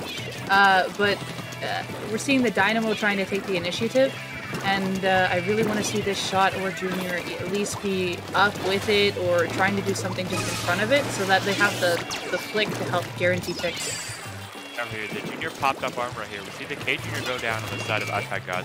It looks like Weird Al here trying to push in, but they just have any aggressive weapons right here. The K shot sadly goes down and they have to retreat back. They just can't afford that K shot going down right now. We have two down action on the side of iPad God. Sadly, the junior's gonna go down right here. Diamond's trying to fight alive, trying to find a pick. Sadly, they're able to trade right here. There's still one more piece left inside of Weird Al. Looks like iPad God are gonna probably take this game. Mhm, they picked up the two climbs, so I, iPad gods are definitely, or not iPad gods, uh, Weird Autumn are visible right now, big time. We see the one was kind of up on their own in the corner. There's one far back. One's trying to get a cheesy flank here, uh, but it does get picked off, and that's a that's a play. There's, there's still a pity climb under Weird Autumn's back. I'm, Mhm, I'm, there I'm, is. Probably gonna send the case off far right, trying to flank by Basket right here. There's um, iPad got there's tossing clamps that I think that's the Octus ball pointer or something right there. It looks like we see a flank on far right. They notice it. The Dam was trying to flank right here. Look at this Dynamo go! Oh, but they score! And iPad Gods looks like three down. Looks like they're gonna take game three right there on probably Dynamo's strongest map. It looks like they're trying to they're trying to close out the set with a clean 4-0. Oh, the desperation. This is this has happened in the in from what I've noticed in all three games is Weird Autumn's front line is getting shut down when they need the front line the most. Um, and then it literally has been leaving it to the Dynamo to try to do something and I feel like the like the Dynamo isn't the one that should be initially doing that. They should be following up with the one who's supposed to lead the way. And uh, but oh my gosh, I I gotta give full full credit efforts for that Dynamo for trying to pull off that flank. Like that is not easy to do, and I know the Inkjet spotted it out, but good job for tr- trying. I I gotta give them credit for that. Yeah. Man, I mean, but we still I mean like I wanna honestly cut cut out I mean cut out, I mean like rule out Weird Al right here. I mean they still have four more games and like they've been close every Mhm. single game. They haven't been like quick KOs. Like that last game obviously wasn't quick KO. Wahoo World wasn't a quick KO at all. Right now, but Nope. next year next year Manta Maria, and I think this is Oh. really gonna this is gonna hurt Autumn really bad, especially with their passive playstyle. Because Rainmaker and on Manta, you can just end this game in like 30 seconds, especially if you pop right away and just go far right. Autumn needs to pick up the pace here, otherwise, um, the iPad gods is going to get uh, a big advantage here because, as you said, you can see that like that they are playing more of a passive style. Yes, it can work in some scenarios, especially for defending, but on Rainmaker, you gotta definitely step it up a notch so that you can get the initial. You want the initial um, uh, start off uh, with aggression, or that like you kind of let them push, pick them off first, and then go uh, is kind of how a comp like that needs to work. Um, but they really have to be aware of what iPad Gods is going to throw at them here, which is going to be a lot of aggression, or if maybe Weird Autumn might Oh change it up a little bit. And and while uh, Vapor I saw pointed out in chat, Jaden actually could, if they win, if iPad God wins this set, Jaden can win two in a row. We have a raid from Kiver. Damn! Thank you, Kiver, Kiver. for that raid. Right in time to see maybe iPad Gods closing out this set. But anyway, back to Jaden. I think Jaden won the last la- LaunchPoint draft cup, so if they win this one, I think they'll be the first player to win two in a row. Pretty cool. That'd be pretty cool, like achievement. Like, hey, I won two LaunchPoint draft cups in a row. Be real. Yeah, that, that's definitely a big thing. But we're going into this already, and uh, same comp uh, on the side of Weird Autumn. So let's see, or not quite same comp, but it's the the foil flings that comes out instead from uh, from Slug. So this is definitely more of the uh, the more aggressive roller, but can still paint really well. It's got the missiles. Um, we see Ballpoint, Kent, Forge, not Forge. Oh, I keep thinking it's the Forge. The. K-Pro. Yeah. Yeah, I keep saying. I know, yeah. And we see already here, like I was talking about, pop right away. Being able to control that right side looks like we already have three down a weird auto right here. I iPad got to Oh, no. The K-Pro goes down there. CJ, two actually. That CJ really good defense right there. And the Rainmaker actually taking one. There's two down right here. Uh, Rainmaker still out. Rainmaker goes down. It looks like that's the end of the K-Pro in the box. Okay, they sadly died to the Rainmaker prop, but still, honestly, I would say that's a good, like, opening, but honestly, man for a Rainmaker, that, that's probably not going to be the winning goal. Manta Marina Maria Rainmaker is like how turf works to me. It's either you KO or it's going to come down to like the last 30 seconds. um, Yes, There's so much that happens in mid, and uh, what is it? Weird Autumn goes three down again. They're really struggling in these middle fights here, and I know they definitely have the comp that can control the middle area. It's just they're not uh, they're not controlling these uh, the flank ways. They're not really respecting what's uh, holding up on bunker here. Uh, they're just getting picked off a bit early, so they can't apply this pressure that I know that this comp can have, and they're just going down one by one. in this case, shot, I mean, they gotta, they gotta honestly take control of this game and be like, hey, Team K, I'm gonna take control of this game. I'm gonna, I'm gonna lead us to the victory. This mercy right here, this 10 to Sing a Street. I, th- I don't think we realized 10 is actually really good this map right here. iPad got two die right here. 10 probably calling out. Oh, Looks no. like they just a fling to left. Looks like the fling is trying to make a hero play right here, trying to save him. Looks like the He third actually gets the Rainmaker right there, bro. And looks like the Booyah's coming right here. iPad got trying to, trying to bump the Rainmaker right away. They're trying to hold up. Looks like 3, 2, 1, that make game. Oh! No, it's not, no, why, why not, no. The one No, not over yet. It's on the Oh. pedestal. What? It's on the pedestal. They're trying so hard. This is as close as it can be, but it's, it's picked Right. up. Rainmaker's splatted on the pedestal. Oh my Oh, gosh. It's back and forth. happened. How does that even happen? They held Anyway, the we're like- Rainmaker on the pedestal, the other team. I know. That is, oh my god. And then Weird Al finally just comes down three seconds Oh. Rainmaker. Wait. Halfway through the game, I thought, oh my god, dude, that. Okay, we see, iPad got top. We have the Rainmaker right here, but they're probably gonna not. I don't think they're gonna be too aggro. I think they're gonna play more 10 free. So like, gonna try and get the 10 right here. The 10, really nice reflection, right? Reflection. Reflection right there. Getting the, getting the, as the Stingray comes out, it looks like this 10 might go down right here. The Stingray's trying to find the right, getting hit the Rainmaker, really nice ray right there. And it looks like, uh, Weird Op really needs to take control of that take, maybe. Needs to take a breather. Uh, they're getting really scattered, as I'm noticing, and their two initial uh, slaying weapons, which is the K-Shot and the Flingza, are trying to go in and make these solo plays that aren't working because they're getting called out. They're getting like they're definitely getting called out uh, because you can see the path they're taking uh, to go do this, and um, they're getting uh, they're getting stuck in these fights that they're trying to take. I, I would love to see them working more together. Um, if uh, if they can communicate that, but the biggest thing is I want them to take a breather uh, and just move in as a unit uh, and not panic as much because they've been going on a, on a very heavy stagger for majority of this game, and uh, they can definitely attempt this comeback in this last minute of play here if they just uh, find that way to group up together and take down the front line, and then they can just keep going on and on and on until they can just push forward. Yeah, but the scary thing right here is Ballfoot. Oh, he dropped the grades. I was gonna say, you could just sit on grades all Yeah. game and just hold there right there. I mean, weird option trying to go in one by one, trying to get the hero player here. It's not really working right here. Looks like iPad guys get the wipe right there. But it looks like they're probably just gonna sit in mid and maybe just sit right here. Maybe the Ballfoot's gonna go back in here, but I think the Akasha is actually fragging out. I think that's 16 or that's Mhm. 16. Yeah, that's 16 kills from Akasha. Really good control right there. The Lynx is trying to get, like, trying to hold right here, trying to get missiles or something. They get missiles. CJ actually goes, sadly goes down, so there's not going to be a Ray right here. Lynx is trying to drop here. The K-Pro knows they're there. And it looks like 10 seconds left. Looks like iPad guy's probably going to win the grand prize here. Lynx is trying to go and they get picked out of the skateboard. Just to Jet left, it looks like iPad Gods, your LaunchPoint Draft Cup 8 champs, and it looks like Jaden has run. and we see a little squid party, and congratulations to iPad God, and congratulations to Jaden for winning two in a row. That is a that is a big GG victory victory squid party there from uh, from iPad gods. My gosh, that pressure that they had on, but Weird Autumn didn't let it get fully KO'd. You gotta you gotta know that. Stopped it there, picked it up, just did what they could. Again, just they got a little too scattered uh, towards the end of that match. Uh, like we saw the K shot trying to do stuff. We saw Slug trying to pull off some great plays there on their own, but we just uh, just had to try to come together for a group effort because we definitely saw that they can do it, especially in the previous uh, previous games where they were countering each other's specials really well and actually moving in and uh, getting what they needed done. Here, here, iPad gods just definitely threw them for a loop. yeah, I think I think iPad God just kind of stick with that aggro play style. Just kind of hurt Weird On. Like Weird On, they're if their frontliner maybe would have got like one or two more picks, I think this could have been like 2-2 right now, especially like that Wahoo game, or especially Mm-hmm. maybe that Humpback game. This could have been 2-2 right now. We couldn't.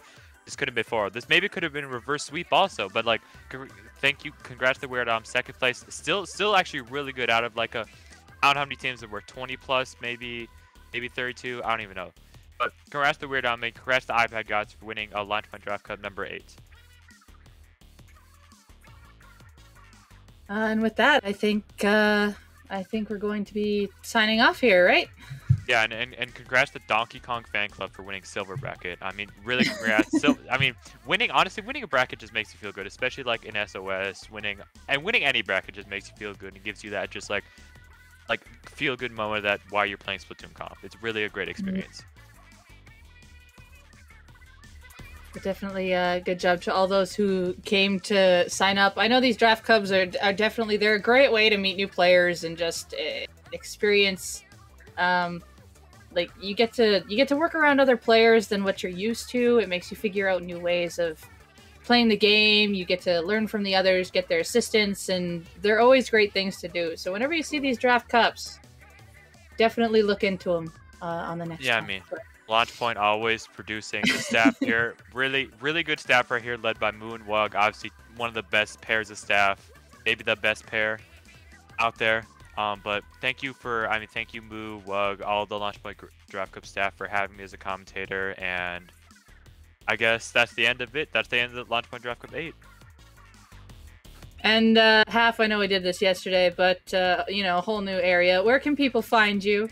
Oh, where can people find me? I guess I'm only on Twitter at 12 of 341, so that's 1 2 of 341. And I mean, Devi, I heard you you like playing Hydra, so if anyone wants to learn how to play Hydra, I think they should go find out where you are. So where are you?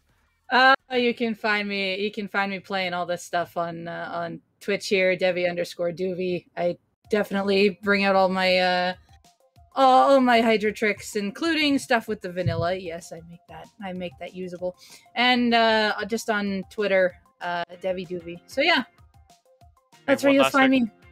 Yeah, one class congrats to iPad Gods. Congrats for winning LaunchPoint Draft Cup 8. And I can't wait for the next one, honestly. Like, the next one maybe will be more exciting than this one. Pom poms to pom poms to the to iPad gods. yes, pom pom to iPad Gods and Donkey Kong. Yes, and Donkey. Kong fan club. Yes, congrats, everyone.